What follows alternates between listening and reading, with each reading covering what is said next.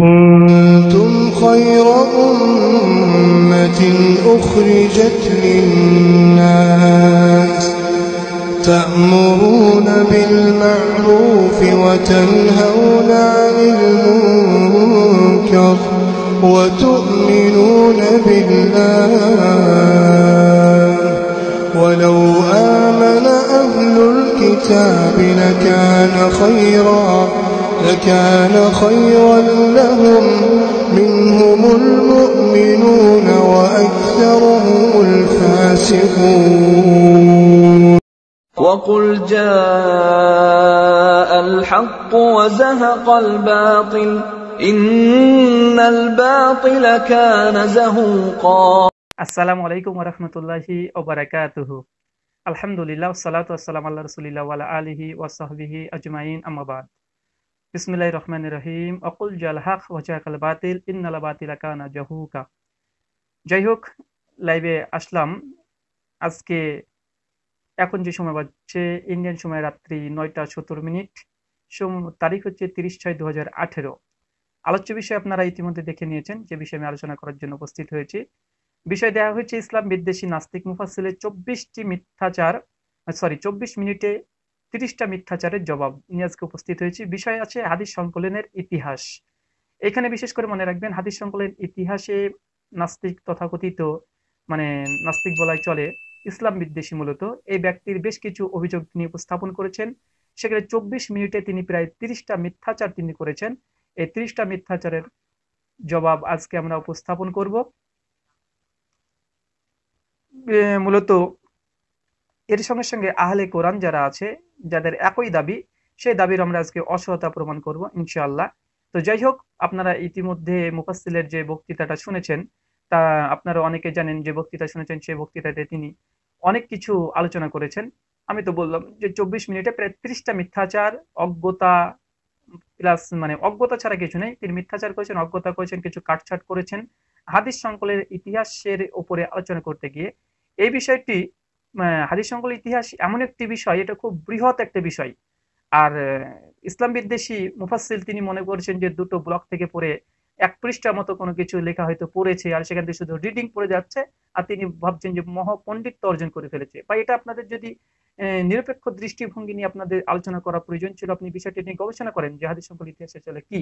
আপনি কোনো একটা ব্লগে ঢুকলেন, কোনো একটা সাইডে ঢুকলেন, দু পৃষ্ঠা লেখা আছে, সেখানে শুধু রিডিং পড়ে চলে গেলেন, আর আপনি শুধু মনে মনে বলছেন আর আপনি বোঝানোর চেষ্টা করছেন যে হাদিস বিষয়টা আসলে কি? হাদিস একটা ইসলামিক গ্রহণযোগ্যতা নেই।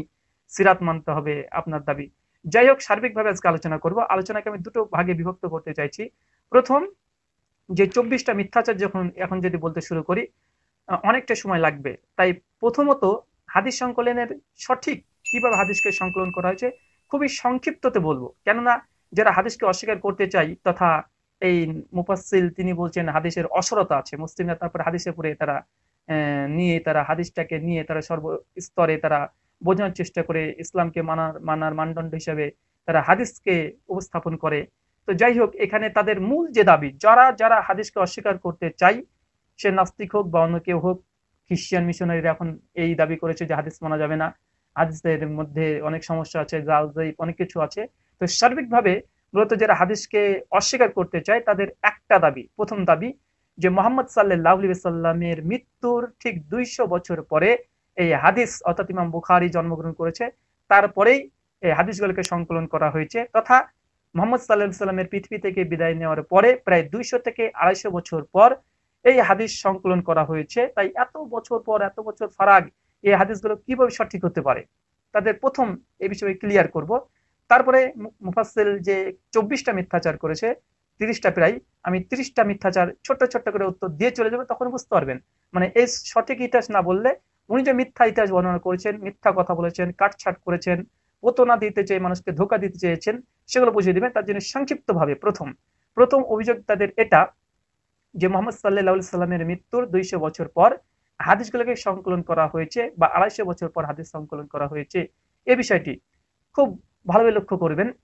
তাদের আরও বেশ কিছু অভিযোগ আছে যে মোহাম্মদ সাল্লাহ সাল্লাম তিনি নিজেই তিনি নিজেই হাদিস সংকলন করতে নিষেধ করেছেন। নিজেই নিষেধ করেছেন, তারপরে মুসলিমরা করেছে, এটা মোহাম্মদ সাল্লাহ সাল্লামের হুকুমের বহির্ভূত কাজ। তো প্রথম আসুন আমি ধারাবাহিক বিষয়ে দুদিল উপস্থাপন করব, যে রসুল মোহাম্মদ সাল্লাহ সাল্লাম, তিনি কি হাদিস লিখতে তিনি বলেছেন? না, হাদিস লিখতে বলেননি। তিনি কি হাদিস সংকলন করার জন্য বা হাদিস লেখার জন্য তিনি কি বলেছেন? বা মোহাম্মদ সাল্লাহ সাল্লাম তিনি মৃত্যুবরণ করে এগারো হিজড়িতে মনে রাখবেন, এগারো হিজড়িতে তিনি মৃত্যুবরণ করে। তো মোহাম্মদ সাল্লাম কি তিনি বলেছেন? যে তোমরা হাদিস লেখো সাহাবিদেরকে কি উদ্বুদ্ধ করেছে হাদিস লেখার জন্য?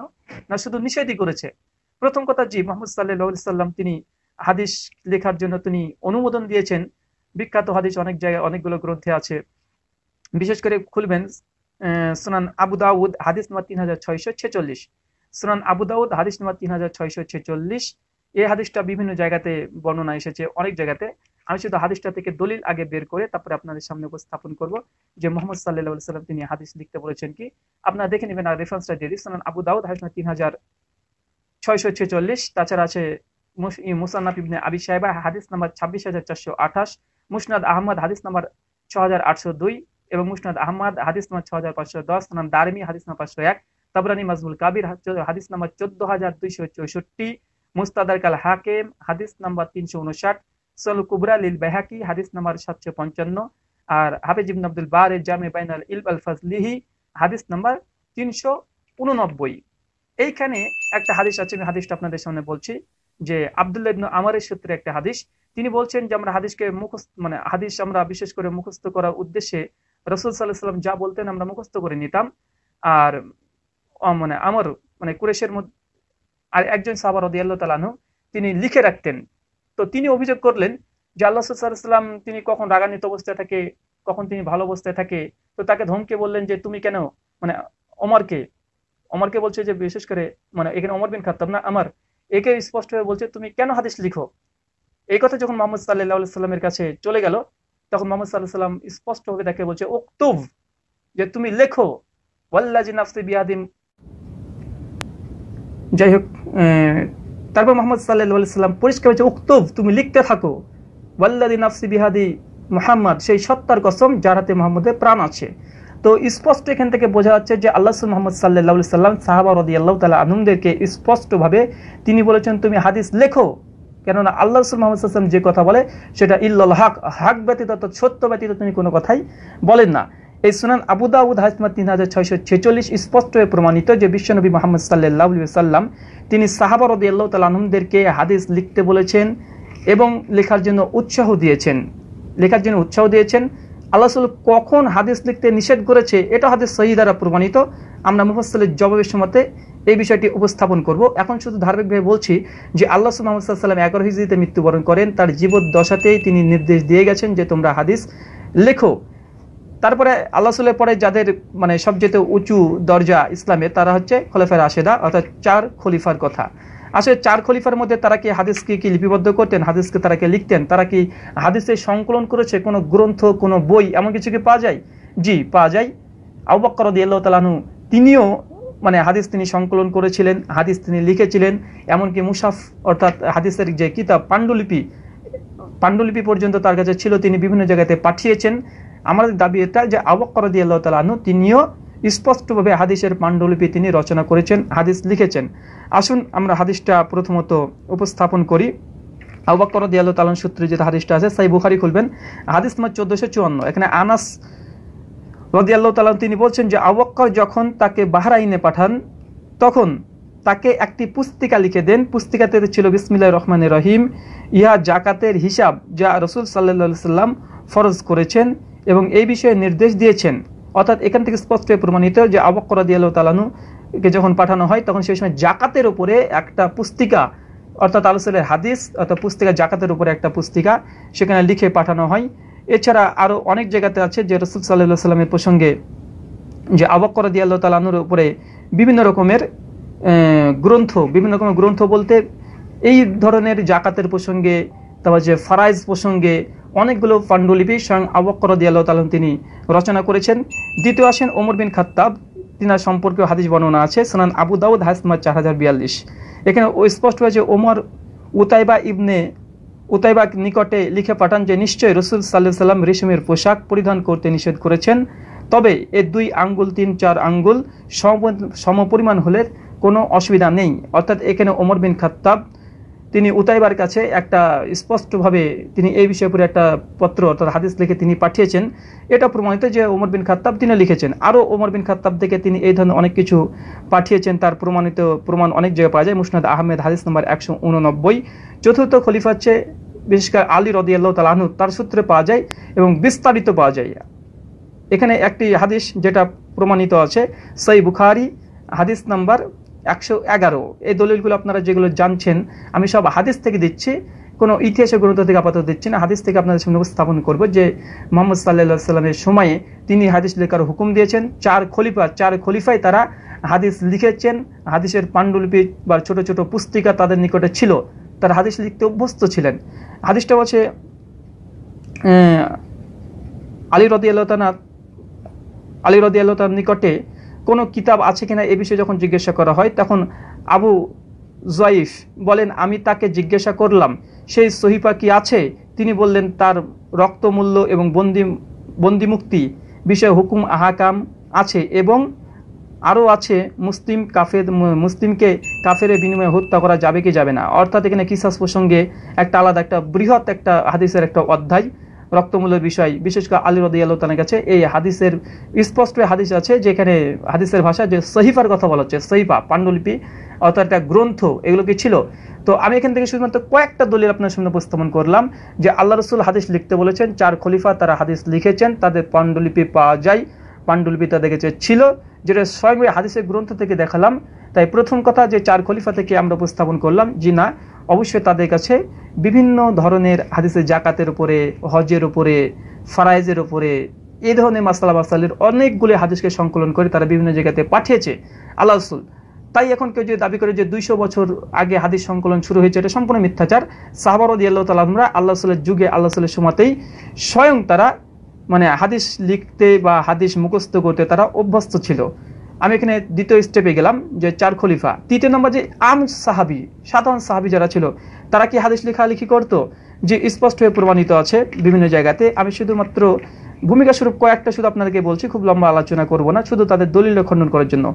আবুহরাই রদি আল্লাহ তালাহনু তিনি বলছেন আবুহরাই রদি আল্লাহ বলতে শুনেছি, তিনি বলেন যে রসুল সাল্লাহ সাল্লামের কোন সাহাবি আমার চেয়ে বেশি হাদিস জানতেন না, তবে আবদুল্লাহ ইবনু আমর ব্যতীত। কেননা তিনি তিনি হাদিস লিখতেন আর আমি শুধুমাত্র হাদিস মুখস্থ করতাম। এটা হচ্ছে বিষয়, দেখেন, এখানে আবু হুরাই রদি আল্লাহ তালাম তিনি বলছেন, আর আপনারা সকালে জানেন যে আবু হুরাই রদি আল্লাহ তালাম তিনি সবচেয়ে হাদিস বেশি বর্ণনা করেছেন। তিনি বলছেন যে আল্লাহ সাল্লের হাদিস সবচেয়ে মানে সবচেয়ে বেশি জানতে মানে তিনি ছাড়া তিনি ছাড়া কেউ জানতেন না, তবে একজন শুধু জানতে চাইতে বেশি বা তার সমপরিমাণ, সেটা স্পষ্ট হয়ে তিনি উল্লেখ করে দিয়েছেন যে আবদুল্লাহ ইবনু আমার। কেন? তিনি কারণ বলছেন যে আমি হাদিস শুধুমাত্র মুখস্থ করতাম আর আবদুল্লাহ ইবনু আমার তিনি হাদিসকে লিখতেন। হাদিসটা আছে সোনান আবু দাউদ, হাদিস নাম্বার তিন হাজার ছয়শো ছেচল্লিশ। এইখান থেকে দলিল শুধু একশো তেরো সোনান মানে সাই বুখারি, হাদিস নাম্বার একশো তেরোতে এই বর্ণনাটি আছে, যেটা বললাম জাবু হুরাইরা তিনি বলছেন যে আবদুল্লাহ আমর তিনি তিনার মতোই শুধুমাত্র হাদিস জানতেন, কেন তিনি হাদিস লিখতেন আর আবু হুরাই তিনি মুখস্থ করতেন। এখানে অনেকগুলো দলিল দেওয়া সম্ভব যে সাহাবরদি আল্লাহ তালামদের জামানাতে তারা লিখেছেন এবং তাদের কাছে পাণ্ডুলিপি ছিল। তার মধ্যে আরেকটি দলিল আপনার সামনে উপস্থাপন করছি। এটা যে ইয়েমনবাসীর উদ্দেশ্যে এই হাদিসটা বর্ণনা করেছে। যে ইবনে হাজম, ইবনে হাজমের নিকটে একটা পুস্তিকা ছিল, যেটার নাম হচ্ছে ফাজাইল সুন্নাতের উপর একটি কিতাব ছিল। যাই হোক, আমি এই বিষয়গুলো আরও বিস্তারিত আলোচনা করব। আমি শুধুমাত্র একটা একটা করে দলিল দিচ্ছি যে সাহাবা রদি আল্লাহ তালামদের সময়তেও হাদিস লেখা, হাদিস মুখস্থ করা এইসব বিষয়গুলো চর্চিত ছিল। কখনোই যে দুইশো হিজড়ির দিকে যে হাদিস সংকলন করা শুরু হয়েছে বা দুইশো হিজড়ির দিকে হাদিস লিপিবদ্ধ করা হয়েছে প্রথম এই কথাটি সঠিক নয়। কেন অনেক দলিল আছে। তার প্রমাণ আপনাদেরকে শুধুমাত্র দিব। যে এখানে একটা প্রশ্ন আসতে পারে যে সাহাবার রদি আল্লাহ তারা যখন হাদিস লিখেছেন, তো তাদের কেন পৃথিবীতে গ্রন্থ নেই? তো সাহাবিদের গ্রন্থে আমরা মানব। তাহলে ইমাম বুখারি মতো লোকের, ইমাম মুসলিম, ইমাম আবু দাউদ এদের কথা বা এদের গ্রন্থ থেকে কেন আমরা মানে হাদিস মানতে যাব? কেন আমরা হাদিস মানতে যাব? জি ভাই, যে সাহাবার রদি আল্লাহ তালামদের মধ্যেও, সেই সময়তেও অনেক পাণ্ডুলিপি এখনও পৃথিবীতে বিদ্যমান। বিভিন্ন গ্রন্থাগারে এখন পর্যন্ত মজুদ আছে। তার মধ্যে দেখেন সাইফা আবু মুসা আসারি আবু মুসা আসের একটা সাহিফা, একটা হাদিসের গ্রন্থ পৃথিবীতে এখনও আছে, যেটা আপনারা যদি মানে খোঁজ করতে করতে কোনো লাইব্রেরিতে যান, বিশেষ করে তুরস্কের শহীদ মানে শাহিদ আলী লাইব্রেরিতে মানে এই সহিফা বা এই পাণ্ডুলিপিটি এখন পর্যন্ত বিদ্যমান। আবু মুসা একজন সাহাবি, তার একটা সহিফা, যেটাকে সহিফাই আবি মুসা নামে পরিচিত আছে। আরটা আছে সহিফা জাবের জাবের ইবন আবদুল্লাহ, জাবের বিন আবদুল্লাহর একটা সহিফা এখন পর্যন্ত আছে। ঠিক একই লাইব্রেরিতে তুরস্কের শহীদ আলী লাইব্রেরিতে যেটা পাণ্ডুলিপি আকারে এখন পর্যন্ত অরিজিনাল ভার্সানটি আছে অরিজিনাল ভার্সানটি। তৃতীয় নুস্কাই সামুরা বিন জুন্দুব। সামুরা বিন জুন্দুবের নুস্খা এখন পর্যন্ত বিদ্যমান। বিভিন্ন, বিশেষ করে ইমাম হাজা আসকান তাকরিবুত তাহাজিবে এ বিষয়ে অনেক বড় আলোচনা করেছে যে সামুরা বিন জুন্দুবের মানে এই সহিফার উপরে। তাছাড়া কিতাবুস সাদ ইবনে উবাইদার ইবনে উবাইদার একটি সহিফা সেখানে মজুদ আছে। যাক, এই ধরনের সাহাবা রদি আল্লাহ তালাহদের থেকে অনেকগুলো সহিফ মানে অনেকগুলো হাদিসের পাণ্ডুলিপি বিদ্যমান। পৃথিবীর জমিনে এখন আছে, আলহামদুলিল্লাহ। যে পৃথিবীর জমিনে এখন পর্যন্ত সাহাবা রদি আল্লাহ তালা আনন্দের নিজ হস্তে লিখিত সহিফা তথা কিতাবপত্র, বই, চটি বই, মোটা বই, অনেক রকমের বই হাদিসের উপরে শুধুমাত্র এখন পর্যন্ত পৃথিবীর বিভিন্ন জায়গাতে মজুদ আছে। তিন নম্বর, এখানে মনে রাখতে হবে যে আল্লাহ সুল আগে হতে মৃত্যুবরণ করেন, তারপরে সাহাবারদি আল্লাহ তালা আনহুম, তাদের সময় পিরিয়ড তো মোটামুটি ধরে নেওয়া যায় যে সাহাবারদি আল্লাহ তালা তারা নব্বই হিজরি সন পর্যন্ত তাদের একটা সময় পিরিয়ড ছিল। কেন আনাস বিন মালিক তিরানব্বই হিজরিতে মৃত্যুবরণ করে। এরকম অনেক সাহাবি, আমি ধরে নিলাম যে নব্বই হিজরি পর্যন্ত সাহাবিদের একটা সময়কাল ছিল। নব্বই হিজরির পরে তাবিন মানে তাবেই, তাবেইদের পিরিয়ড শুরু হলো। তাবিদের মধ্যে অনেকজন হাদিসের গ্রন্থ লিখেছে, অনেক। অনেক আপনাকে কয়েকটা যদি বলি, আপনি বুঝতে পারেন, প্রথম হচ্ছে সাইপা হাম্মান হাম্মান বিন মুনাব্বি একটা এ হাদিসের অনেক বড় গ্রন্থ। এই গ্রন্থটি বিশেষ করে পঞ্চম খণ্ড, দশম খণ্ড পর্যন্ত এই গ্রন্থটি এখন পর্যন্ত বিদ্যমান। অনেক আমি এ বিষয়ে একটু পরে আলোচনা করছি। দ্বিতীয় হচ্ছে আবু জুবাইর, মোহাম্মদ ইবনে মুসলিম। এই একটা গ্রন্থ যেটা মাকতেবাই জাহারিয়াতে পাণ্ডুলিপি আকারে এখন পর্যন্ত আছে। তাছাড়া তিন নম্বর গ্রন্থ তাবেইদের যে সহিপা আবি হুমায়দি, আবু হুমায়দি আর তাবিলি তুরস্কের শহীদ আলী লাইব্রেরিতে পাণ্ডুলিপি এখনও আছে। আর বুরাদা, তুরস্কের শহীদ লাইব্রেরিতে এখন পর্যন্ত এই পাণ্ডুলিপি দেখা যায়। আইয়ুব আইয়ুব আস সাক্তিয়ানি মাকতবে জাহারিতে এই পাণ্ডুলিপি এখনও আছে। সাহিপা হিসাম ইবনে উরাইয়া, এই সাহিপা এখন পর্যন্ত দামেশকে আছে। এখন পর্যন্ত দামেশকে আছে। যাই হোক আমি শুধুমাত্র আপনাকে বললাম, এখানে তিনটে পর্যায়। এক সাহাবর দিয়াল্লাহ আমাদের মানে নিজ হস্তে লিখিত হাদিসের গ্রন্থ পৃথিবীতে এখনও বিদ্যমান। এ হচ্ছে দলিল উপস্থাপন যে সাহাবি এবং তাবেদের সম্পূর্ণভাবে তাদের অনেকগুলো হাদিসের পাণ্ডুলিপি পৃথিবীতে বিদ্যমান আছে, পৃথিবীর বিভিন্ন লাইব্রেরিতে এখন পর্যন্ত বিদ্যমান। এখানে চার নম্বর আমরা যে বিষয়টি আলোচনা করব মানে আট নম্বর বিষয়, যে এখানে একটি প্রশ্ন আসতে পারে, তো সাহাবিদের যেহেতু পাণ্ডুলিপি আছে তাবেদের পাণ্ডুলিপি আছে, তো আমরা কেন সাহাবি তাবেইর এই পাণ্ডুলিপি কেন কেন পৃথিবীব্যাপী, এটা ছড়িয়ে গেল না? কেন তাদের এই গ্রন্থগুলি, পাণ্ডুলিপিগুলো কেন প্রাধান্য পাল পেল না? এখানে একটি ছোট্ট যুক্তি দিয়ে আপনাকে বলি যে কেন পেল না ইমাম বুখারির মতো সেই বুখারির গ্রন্থ কেন সংকলন করা হলো? মূলত এই সাহাবরদি আল্লাহ তালামদের সহিফাতে যেসব হাদিসগুলো আছে বা ছিল, এখন পর্যন্ত আছে, পৃথিবীতে হারিয়ে যায়নি, আলহামদুলিল্লাহ। পৃথিবীর অনেক ধর্মগ্রন্থ হারিয়ে গেছে মানে খুঁজে পাওয়া যায় না। সাহাবিরা যেসব পাণ্ডুলিপি লিখেছিল, পৃথিবীতে আলহামদুলিল্লাহ এখন পর্যন্ত বিদ্যমান এটা ইসলামের মজিজা।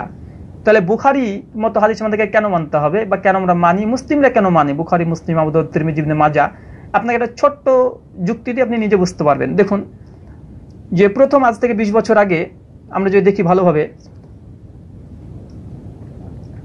আজ থেকে বিশ বছর আগে আমরা যদি দেখি যে মোবাইল যেগুলো ব্যবহার করা হতো, একটা ছোট্ট, একটা এ ধরনের মোবাইল। যে মোবাইলটাতে শুধুমাত্র ফোন হতো, যে মোবাইলটাতে শুধুমাত্র ফোন হতো, তো কারও নাম সেভ করা যেত না। কয়েক বছর পর মোবাইলটা একটু মডিফাই হলো চেঞ্জ হলো। তো তখন দেখা যাচ্ছে যে না, মোবাইলটা সাদা কালো আছে। মোবাইলটায় ফোন করলে নামটা সেভ করা যেত। আরও দু চার বছর ওই মোবাইলটা চলল। তারপর একটা মোবাইল আসলো, যে মোবাইলে এফ আপনি শুনতে পারবেন।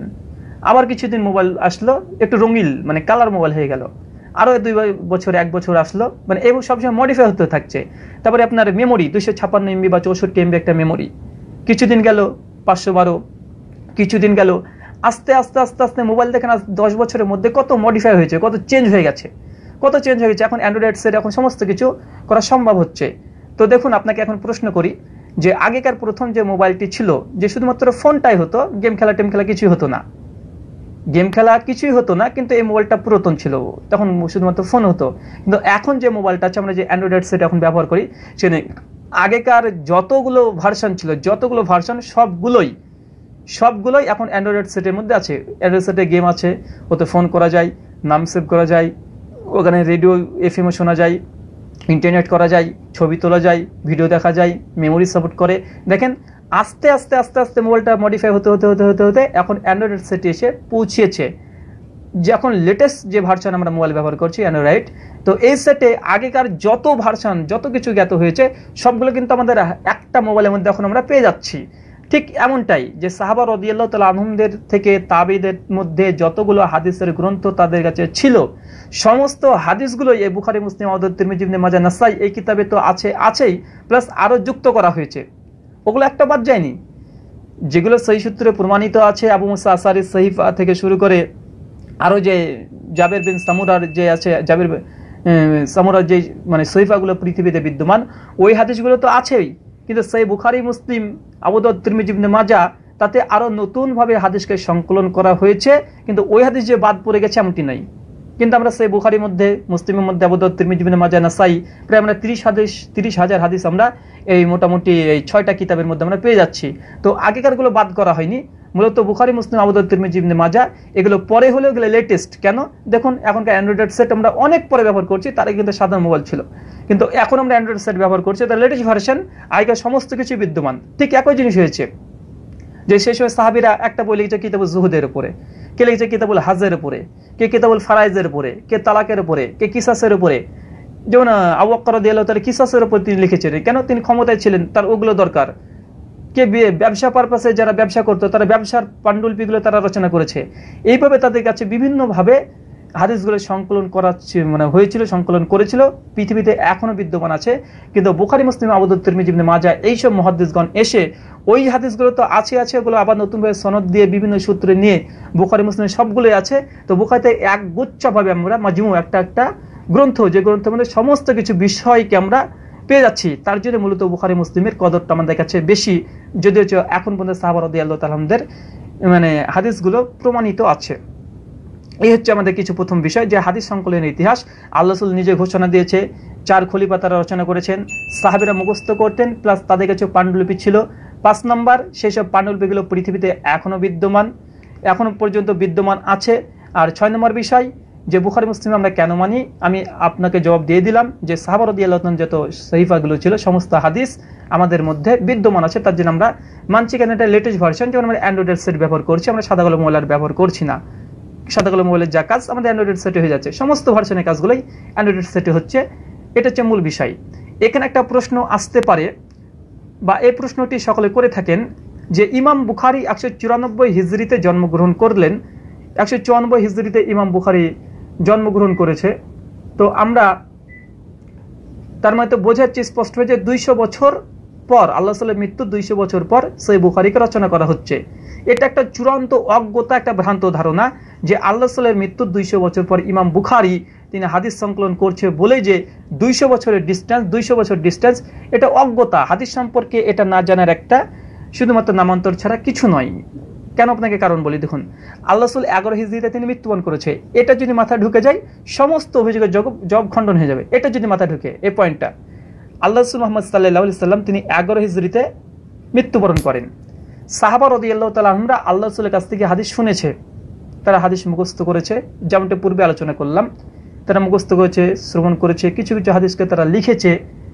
সাহাবা রদি আল্লাহ তালদের সময় পিরিয়ড ছিল প্রায় নব্বই হিজড়ি পর্যন্ত। প্রায় নব্বই হিজড়ি পর্যন্ত সাহাবা রদি আল্লাহ তালাহমরা পৃথিবীতে জীবিত ছিলেন, অনেক সাহাবি জীবিত ছিলেন। বিশেষ করে সত্তর হিজড়ি পর্যন্ত তো প্রচুর ছিলেন, অনেক ছিলেন, অসংখ্য। আর সত্তর দশক মানে সত্তর, আশি, নব্বই এই সময়তে সাহাবা রদি আল্লাহ তালামরা ছিলেন। তো নাস্তিকরা এখানে একটা কৌশল করছে কি? কৌশল হচ্ছে এটা যে মোহাম্মদ সাল্লাম এগারোহিতে মৃত্যুবরণ করে, ইমাম বুখারি একশো চুরানব্বই তাহলে তো প্রায় একশো আশি বছর, প্রায় দুশো বছর হয়ে গেল।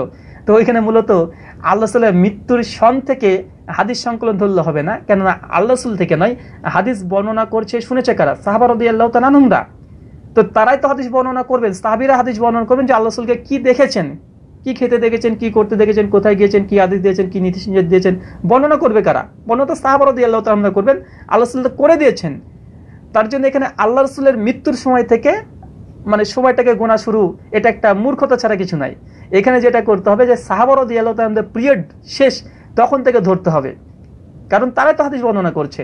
ধরেন একটা সাহাবার রদি আল্লাহ তালা আনহুম, তিনি সত্তর হিজড়িতে একটা হাদিস বর্ণনা করেছে, সত্তর হিজড়িতে কোন একজন তাবেইকে তাবেইকে হাদিস শ্রবণ করলেন, সে সাহাবা সত্তর হিজড়িতে মৃত্যুবরণ করলেন। এবার তাবি কিন্তু সরাসরি তার মানে তাবি যখন আসছে, তো সঙ্গে সে সাহাবি তখন বলছে তাবিকে শিক্ষা দিচ্ছে একজন যে আল্লাহ মোহাম্মদ এই কথা বলেছেন। সাহাবি কাকে শিক্ষা দিচ্ছেন একজন তাবেইকে। তাবিটা দেখা যাচ্ছে, মারা যাচ্ছে তিনি একশো পঞ্চাশ হিজড়িতে। দেখেন, একশো পঞ্চাশ হিজড়ির একটা তাবেই একশো পঞ্চাশ হিজড়ির একজন তাবেই তিনি সঙ্গে সঙ্গে একজনের মাধ্যমে আল্লাহ পর্যন্ত হাদিসটা চলে যাচ্ছে। এটা হচ্ছে মূল বিষয় যে একশো পঞ্চাশ হিজড়ি পর্যন্ত, আল্লাহ রসুলের পর্যন্ত সনদ পৌঁছাতে মাত্র একটা সনদ, একজন লাগছে, একজন তাবেই তার জন্য আমি বললাম এখানে মূলত যে আল্লাহ রসুলের মৃত্যুর সন থেকে ইমাম বুখারি পর্যন্ত এটা ভ্রান্ত ধারণা, বিশেষ করে হাদিস সংকলনের দিক থেকে। আপনাকে ধরতে হবে সাহাবর রদি আল্লাহ তারা হাদিস বর্ণনা করছে। তো সাহাবর রদি আল্লাহ আমাদের পিরিয়ড ছিল কত হিজড়ি পর্যন্ত? আমি তর্কের খাতে ধরলাম নব্বই নব্বই বাদ দিলাম, আশি হিজড়ি ধরলাম। অনেক সাহাবর রদি আল্লাহ তালাম তারা ছিলেন। তো সাহাবর রদি আল্লাহ তালাম আশি হিজড়িতে একটা হাদিস বর্ণনা করছেন। কাকে? তাবেইদেরকে তাবেদের সময় পিরিয়ড কত ছিল? প্রায় ধরে নিন একশো পঞ্চাশ হিজড়ি পর্যন্ত। তো এখানে একটা সবচেয়ে খুব চমৎকার একটা বিষয় আছে যে সাহাবাদের সময় পিরিয়ড ছিল আশি হিজড়ি বা নব্বই হিজড়ি পর্যন্ত। কিন্তু সেই সময়তে এই আশি নব্বই হিজড়িতেই আশি নব্বই একশো হিজড়ির মধ্যে অলরেডি অনেক গ্রন্থ চলে এসেছে। দেখেন, একজন সাহাবি হাদিস বর্ণনা করেছে তাবির কাছে। তাবিয়েদের মধ্যেই অনেকজন হাদিস রচনা করেছেন বা তাবিদের কিছু কিছু পরেই অনেকজন হাদিস বর্ণনা করেছেন। যেন আপনাকে একটা কথা বলি যে মুয়াত্তা ইমাম মালিক। ইমাম মালিক তিনি জন্মগ্রহণ করেন তিরানব্বই হিজড়িতে। মনে রাখবেন সাহাবারদি আল্লাহ তালাম তারাই হাদিস বর্ণনা করবেন। তো ইমাম মালিক, তিনি তিরানব্বই হিজড়িতে তিনি জন্মগ্রহণ করেন। তার একটা বিখ্যাত গ্রন্থ, মুয়াত্তা ইমাম মালিক। মুয়াত্তা মুয়াত্তা ইমাম মালিক, দেখেন, হাদিস তিনি সংকলন করছেন। তো ভাই বলুন তো, কত বছর ডিস্টেন্স কত বছর? খুব বেশি হলে দশ থেকে পনেরো বছর। আল্লাহ সাল্লাহ সাহাবিরা মৃত্যুবরণ করে আবারও বলছে, এটা ঢুকলে সমস্ত কিছু ক্লিয়ার হয়ে যাবে। সমস্ত সাহাবার রদি আল্লাহ মৃত্যুর সংযোজিত ধরে নিই, আশি হিজড়ি আশি হিজড়িতে অপরদিকে ইমাম মালিক তিনি জন্মগ্রহণ করছেন তিরানব্বই হিজড়িতে তো সাহাবিদের পরে তাবিদের চলে যাচ্ছে। ইমাম মালিক তিনি তাবির অন্তর্ভুক্ত নয়, কিন্তু তিনি মাত্র কত বছর? মাত্র তেরো বছর ফারাক। তেরো বছর সাহাবিদের মৃত্যুর, মাত্র তেরো বছর পর ইমাম মালিকের জন্মগ্রহণ হয়। আর ইমাম মালিক স্বয়ং তিনি মুয়াত্তা ইমাম মালিক এ হাদিসের গ্রন্থ তিনি রচনা করেছেন, যেটা গোটা বিশ্বে প্রচলিত। সবাই, আমরা ফায়দা লুটছি এখান থেকে, ইমাম মালিক। তো ভাই, এখানে কি দুইশো বছর মনে হলো? কিন্তু নাস্তিকরা করে কি? যে আল্লাহ রসুলের মৃত্যু সাল দেখবে, আর যে মুসান্নিফ গ্রন্থ মানে রচনা করছে, যে মুসানিফ গ্রন্থ রচনা করছে, তার মৃত্যু সন দেখবে। বলে ইমাম মালিক একশো একচল্লিশ ইসিতে তিনি মৃত্যুবরণ করে। তো ইমাম মালিকে যদি রচনা করে মানে হাদিসে গ্রন্থ রচনা করে, তাও প্রায় মোহাম্মদের দেড়শো বছর পর। কিন্তু হিসাবটা সম্পূর্ণ ভুল। কেননা আল্লাহ রসুল সাল্লাহ সাল্লাম তিনি হাদিসটা বর্ণনা করে দিয়েছেন অলরেডি সাহাবারদি আল্লাহ তালা আনন্দদেরকে তারা সত্যবাদী ন্যায়পরণ আর তারা শুধুমাত্র বর্ণনা করেছে তাবেইদেরকে তাবির কাছ থেকে ইমাম মালিক হাদিস পেয়ে যাচ্ছে। তো মাত্র তেরো বছর, চোদ্দ বছর ২০ বছর ২৫ বছর ধরেন। মাত্র পঁচিশ বছর সাহাবারদি আল্লাহ সময় পিরিয়ড শেষ হওয়ার মাত্র পঁচিশ বছর পর মুয়াত্তা ইমাম মালিক গ্রন্থটি পৃথিবীর জমিনে সংকলন হয়ে গেছে অলরেডি অলরেডি এই ধরনের অনেকগুলো গ্রন্থ পাওয়া যায়, মাত্র যে সাহাবিদের পিরিয়ড শেষ, আর সেই সময়তে এরকম অনেকজন ব্যক্তি, অনেকজন মানে জন্মগ্রহণ করেছেন, যারা হাদিস সঙ্গে মানে হাদিস সঙ্গে সঙ্গে তারা সংকলনও করেছেন। এরকম অনেকজন আছে, যেমন মুয়াত্তা ইমাম মালিকের কথা বললাম। ইমাম আবু হানিফা রহমতুল্লাহ একজন ছাত্র আছে, যার নাম হচ্ছে আবদুল্লাহ ইবনে মুবারক। আবদুল্লাহ ইবনে মুবারকের মানে অনেকগুলো আছে কিতাব জুহুদ পৃথিবীতে এখন পর্যন্ত বিদ্যমান। এটা প্রকাশ হয়েছে, বই বেরিয়ে গেছে, বই আমাদের হাতে আছে। মাক্তাবাই সামলে তো আপনারা পেয়ে যেতে পারেন। কিতাবু জুহুদ আছে, কিতাবু জিহাদ আছে, আবদুল্লাহ বিন মুবারকের। ইনার জন্ম ইনার জন্ম হচ্ছে তিরানব্বই হিজড়িতে। তিরানব্বই হিজড়িতে আবদুল্লাহ বিন মুবারকের জন্ম, তারও প্রায় তিন থেকে চারটে তারও হাদিসের গ্রন্থ আছে। যেমন একটি গ্রন্থ নাম আছে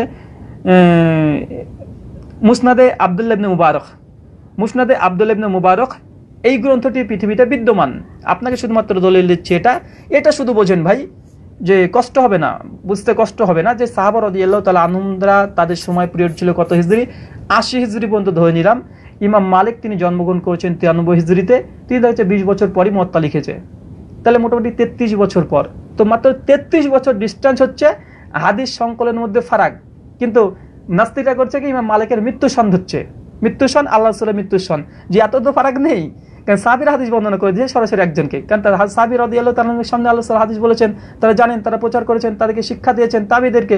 তো তার মধ্যে ইমাম মালিক তিনি একটা হাদিস গ্রন্থ রচনা করেছেন, আবদুল্লাহ বিন মুবারক, তিনি চারখানা হাদিসের গ্রন্থ তিনি রচনা করেছেন, বৃহৎ বৃহৎ অংশ হাদিসের মধ্যে যেগুলো ভাইটাল বিষয়, এই ধরনের অনেকগুলো আছে।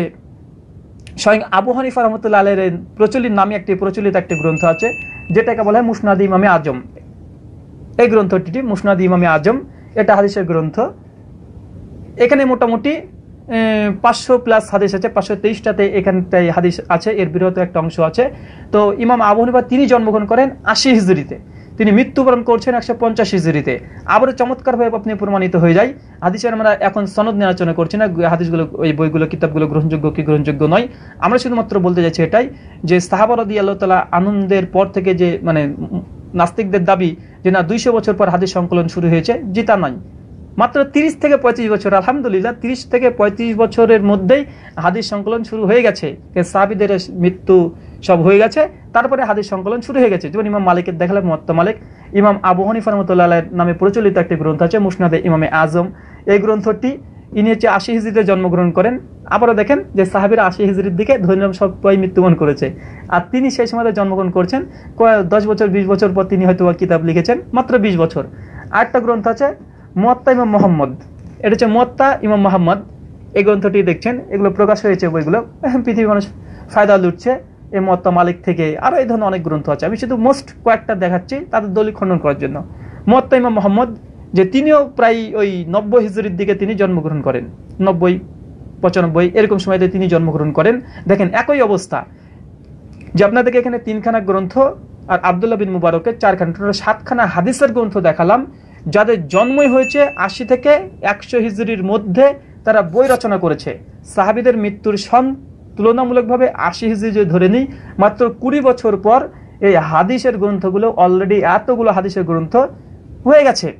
ইমাম আহমেদ ইবনু হাম্বেলের কথা যদি বলা হয়, বা আমরা আরও একজনের কথা বলতে পারি, মানুষ শুধুমাত্র ইমাম বুখারির কথাকে প্রা, কথা বুখারিকে বলেই হাদিসের শুধুমাত্র দৈর্ঘ্য প্রশ্ন পেয়ে যে এই দুইশো বছর। এখানে একটা মনে রাখবেন যে আবি বাকার ইবনু আবি সাইবা ইনি হচ্ছেন ইমাম বুখারির উস্তাদ। ইমাম বুখারির উস্তাদ নাম আবিবাকার ইবনে আবি সাইবা তার একটা বিখ্যাত গ্রন্থ আছে, মুসান্নাফ ইবনু আবি সাইবা প্রায় পঁয়ত্রিশ হাজার বই আছে। তাহলে ভাই, কেন ইমাম বুখারিকে দিয়ে আপনি ধরছেন যে ইমাম বুখারি হাদিস সংকলন করেছে? তাই তিনি, তাই তাই দুশো বছর হলো। তো ইমাম বুখারির উস্তাদেরও বই আছে। মুসান্নাফ ইবনু আবি সাইবা প্রায় চল্লিশ হাজার প্রায় ওখানে হাদিস লিপিবদ্ধ করা আছে, প্রকাশ হয়েছে বইটা ছত্রিশ খণ্ডে আছে, একটা একটা আছে, আঠাশ খণ্ডে বইটা প্রকাশ হয়েছে, বাজারে আছে ফায়দাল মানুষ ওখান থেকে দলিল দেয়, উপস্থাপন করে। আবু ইবনে আবি সাহেব তার মৃত্যু হচ্ছে দুশো পঁয়ত্রিশ। তিনি এখানে দেখেন একইভাবে একইভাবে সমস্ত দলিল উপস্থাপন যদি আমরা করতে চাই, অনেকগুলো গ্রন্থ আছে। ইমাম বুখারির আরেকজন আছে, ইমাম হুমাইদি তার মুসনাদে হুমাইদি বলে একটা গ্রন্থ আছে। ইমাম বুখারির উস্তাদ। তাই এখান থেকে শুধুমাত্র দলিল একটাই খণ্ডন দুটো দলিল খণ্ডন করলাম, যে হাদিস সংকলন যে দুশো হিজড়ির দিকে শুরু হয়েছে, এটা চূড়ান্ত মিথ্যাচার, অজ্ঞতা মুফাসিল এইসব বিষয়ে কিছু জানে না, তার জন্য শুধু ব্লগ থেকে পড়ে তিনি মিথ্যাচারটা করেছেন। কেন? তার জন্য জ্বলন্ত প্রমাণ যে তিরানব্বই হিজড়িতে ইমাম মালিকের জন্ম, তিনি বলে গেছেন মত্তা মালিক, ইমাম আবু হনিফার জন্ম আশি হিজড়িতে তিনি লিখেছেন মুসনাদ ইমাম আজম।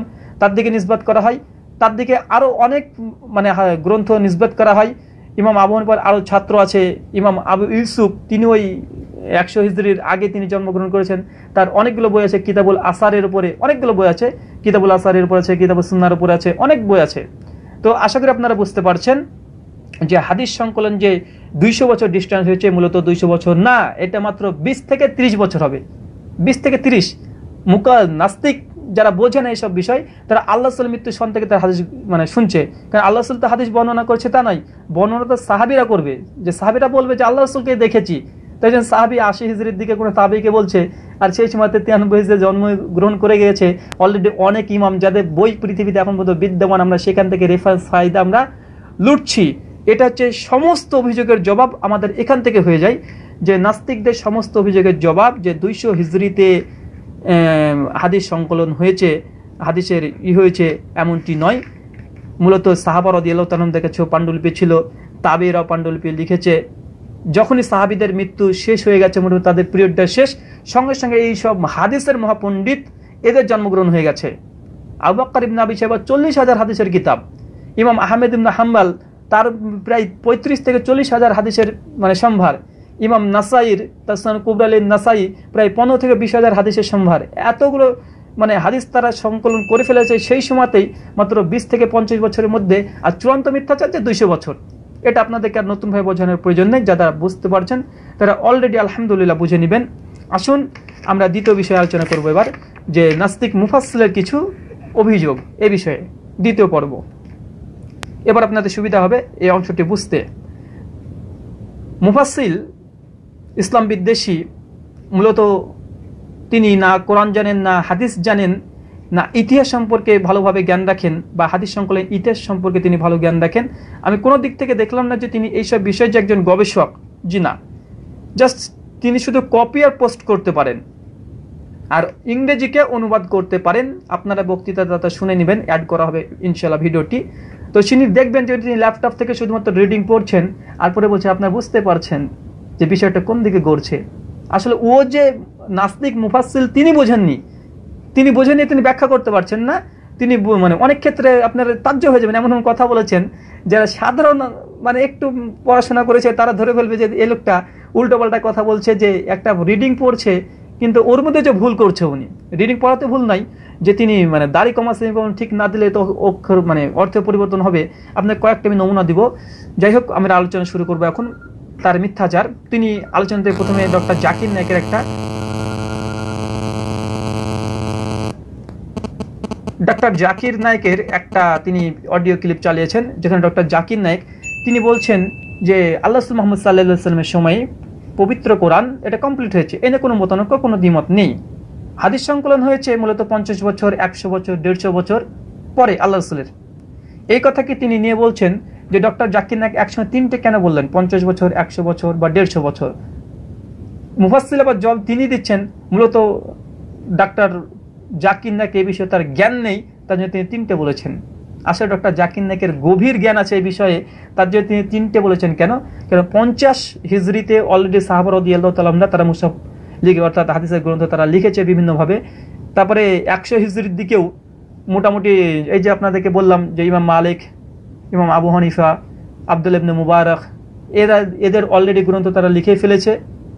দেড়শো হিজড়ির দিকে তো অনেক ভরি ভরি লেখা হয়েছে, প্রচুর লেখা হয়েছে। দিতে গেলে এতগুলো হাদিসের গ্রন্থ যদি মুফাসিলকে যদি মাথায় তুলে দিই, নিয়ে বই দিয়ে পারবে না, এতগুলো ভারী হবে, ওর বইয়ের ওর ওয়েট যাওয়া হবে। তাই ডক্টর জাকির নাক ঠিকই বলেছেন যে পঞ্চাশ, একশো, দেড়শো হিজড়ির দিকে হাদিসকে লিপিবদ্ধ করা শুরু হয়েছে। পঞ্চাশ হিজড়িতে ছিল একশোতে ছিল, দেড়শো ছিল, সেটা রানিং ছিল, ধারাবাহিকভাবে ছিল। তাই এটা ডক্টর নায়কের কোনো অজ্ঞতা নাই।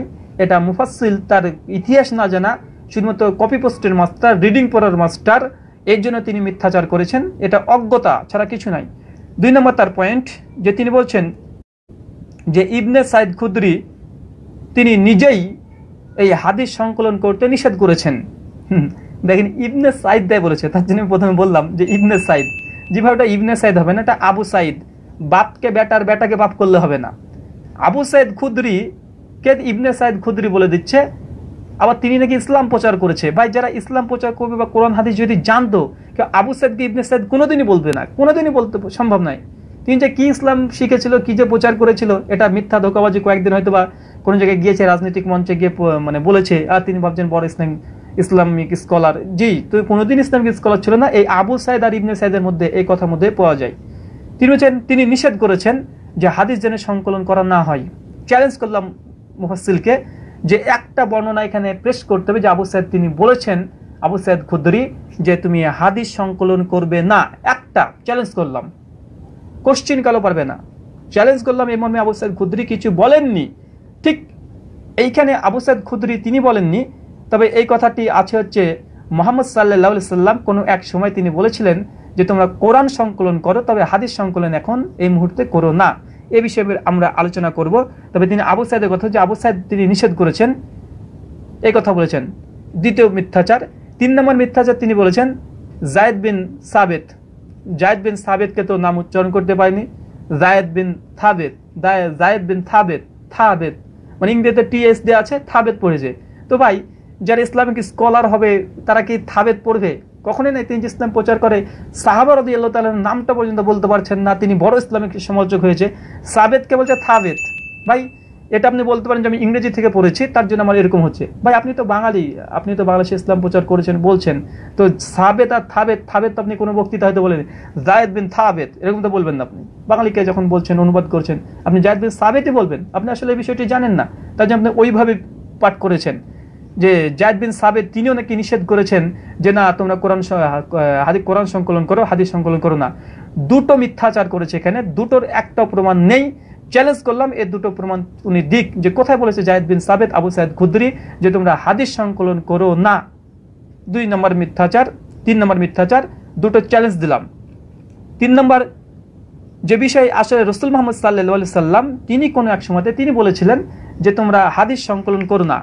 কিন্তু এইখানে তিনি কাটছাট করেছেন। এটা একটা মিথ্যাচার। চার নম্বর মিথ্যাচার তিনি যে হাদিসের ভিত্তিতে কথাটি বলতে চেয়েছেন, যদিও তিনি হাদিসটা জানেন না, ব্লগ থেকে পড়েছেন তো মানে মূল লেখক মূল লেখক যে হাদিসের ভিত্তিতে কথাটা বলতে চেয়েছেন, সে হাদিসটা এতটাই কাটছাট করেছে যে আপনি চিন্তা করতে পারবেন না। এখানে যদি হাদিসটা আমরা পড়ব পুরোটাই, তাহলে আপনারা বুঝতে পারবেন যে ওই হাদিসের মধ্যেই প্রমাণ কি আছে, কারণ হাদিসটার অর্ধেক দিয়েই সেটা দলিল উপস্থাপন করেছে। আর মুফাসিলের তো দেখার প্রয়োজনই মনে করেনি। হ্যাঁ পেয়েছি ইসলাম বিদ্বেষী, আর ঘুম থেকে উঠে একবারে বলতে শুরু করে দিয়েছে, নতুন নতুন তথ্য চাই। জনসাধারণকে নতুন নতুন দেবে, আর মুফাসিল একবারে বলবে যারে বাবা, বড় কি গবেষণা মুফাসিলের মানে ঘুম থেকে শুধু ভাবে যে, কখন একটা নতুন নতুন পাবো? আর অমনি সঙ্গে সঙ্গে লাইভে এসে মাসের কাছে প্রকাশ করে দেবো, আর মানুষ ভাববে যে রে বাবা, জবর গবেষণা। জি জিরো তিনি জানেনই না। আমি হাদিসটাকে খুঁজে দেখেছি। হাদিসটা আছে সাই মুসলিম, হাদিস নাম্বার তিন হাজার চার মাকতাবাই শামেলা সংস্করণ। হাদিসটা দেখেন, আবু সাইদ খুদ্রি রদি আল্লাহ তালু তিনি বর্ণনা করছেন, তার কথা নয়। মুফাসিল করে দিয়েছে কি আল্লাহ রসুলের কথা আবু সাইদের নামে চালিয়ে দিয়েছে। আল্লাহ রসুল বলছেন, আবু সাইদ বর্ণনা করেছেন, ভাই, এতটা অত্যন্ত হাদিসটা বোঝার যোগ্যতা রাখা দরকার যে আবু সাইদ বর্ণনাকারী আল্লাহ রসুল সম্পর্কে বলছেন। আবু সাইদ থেকে বর্ণনা তিনি বলেন, রসুল সাল্লাহ সাল্লাম তিনি বলেছেন, তোমরা আমার নিকট থেকে কোরআন ব্যতীত কিছু লিপিবদ্ধ করো না। যে ব্যক্তি আমার নিকট থেকে কোরআন ব্যতীত অন্য কিছু লিখেছ, সে যেন তা মিটিয়ে দেয়। এতদূর দিয়েছে। মূলত এতদূরই নিয়েছেন জালাসুল বলেছেন কোরআন ব্যতীত কিছু লিপিবদ্ধ করবে না। যারা লিখেছ, মিটিয়ে দাও।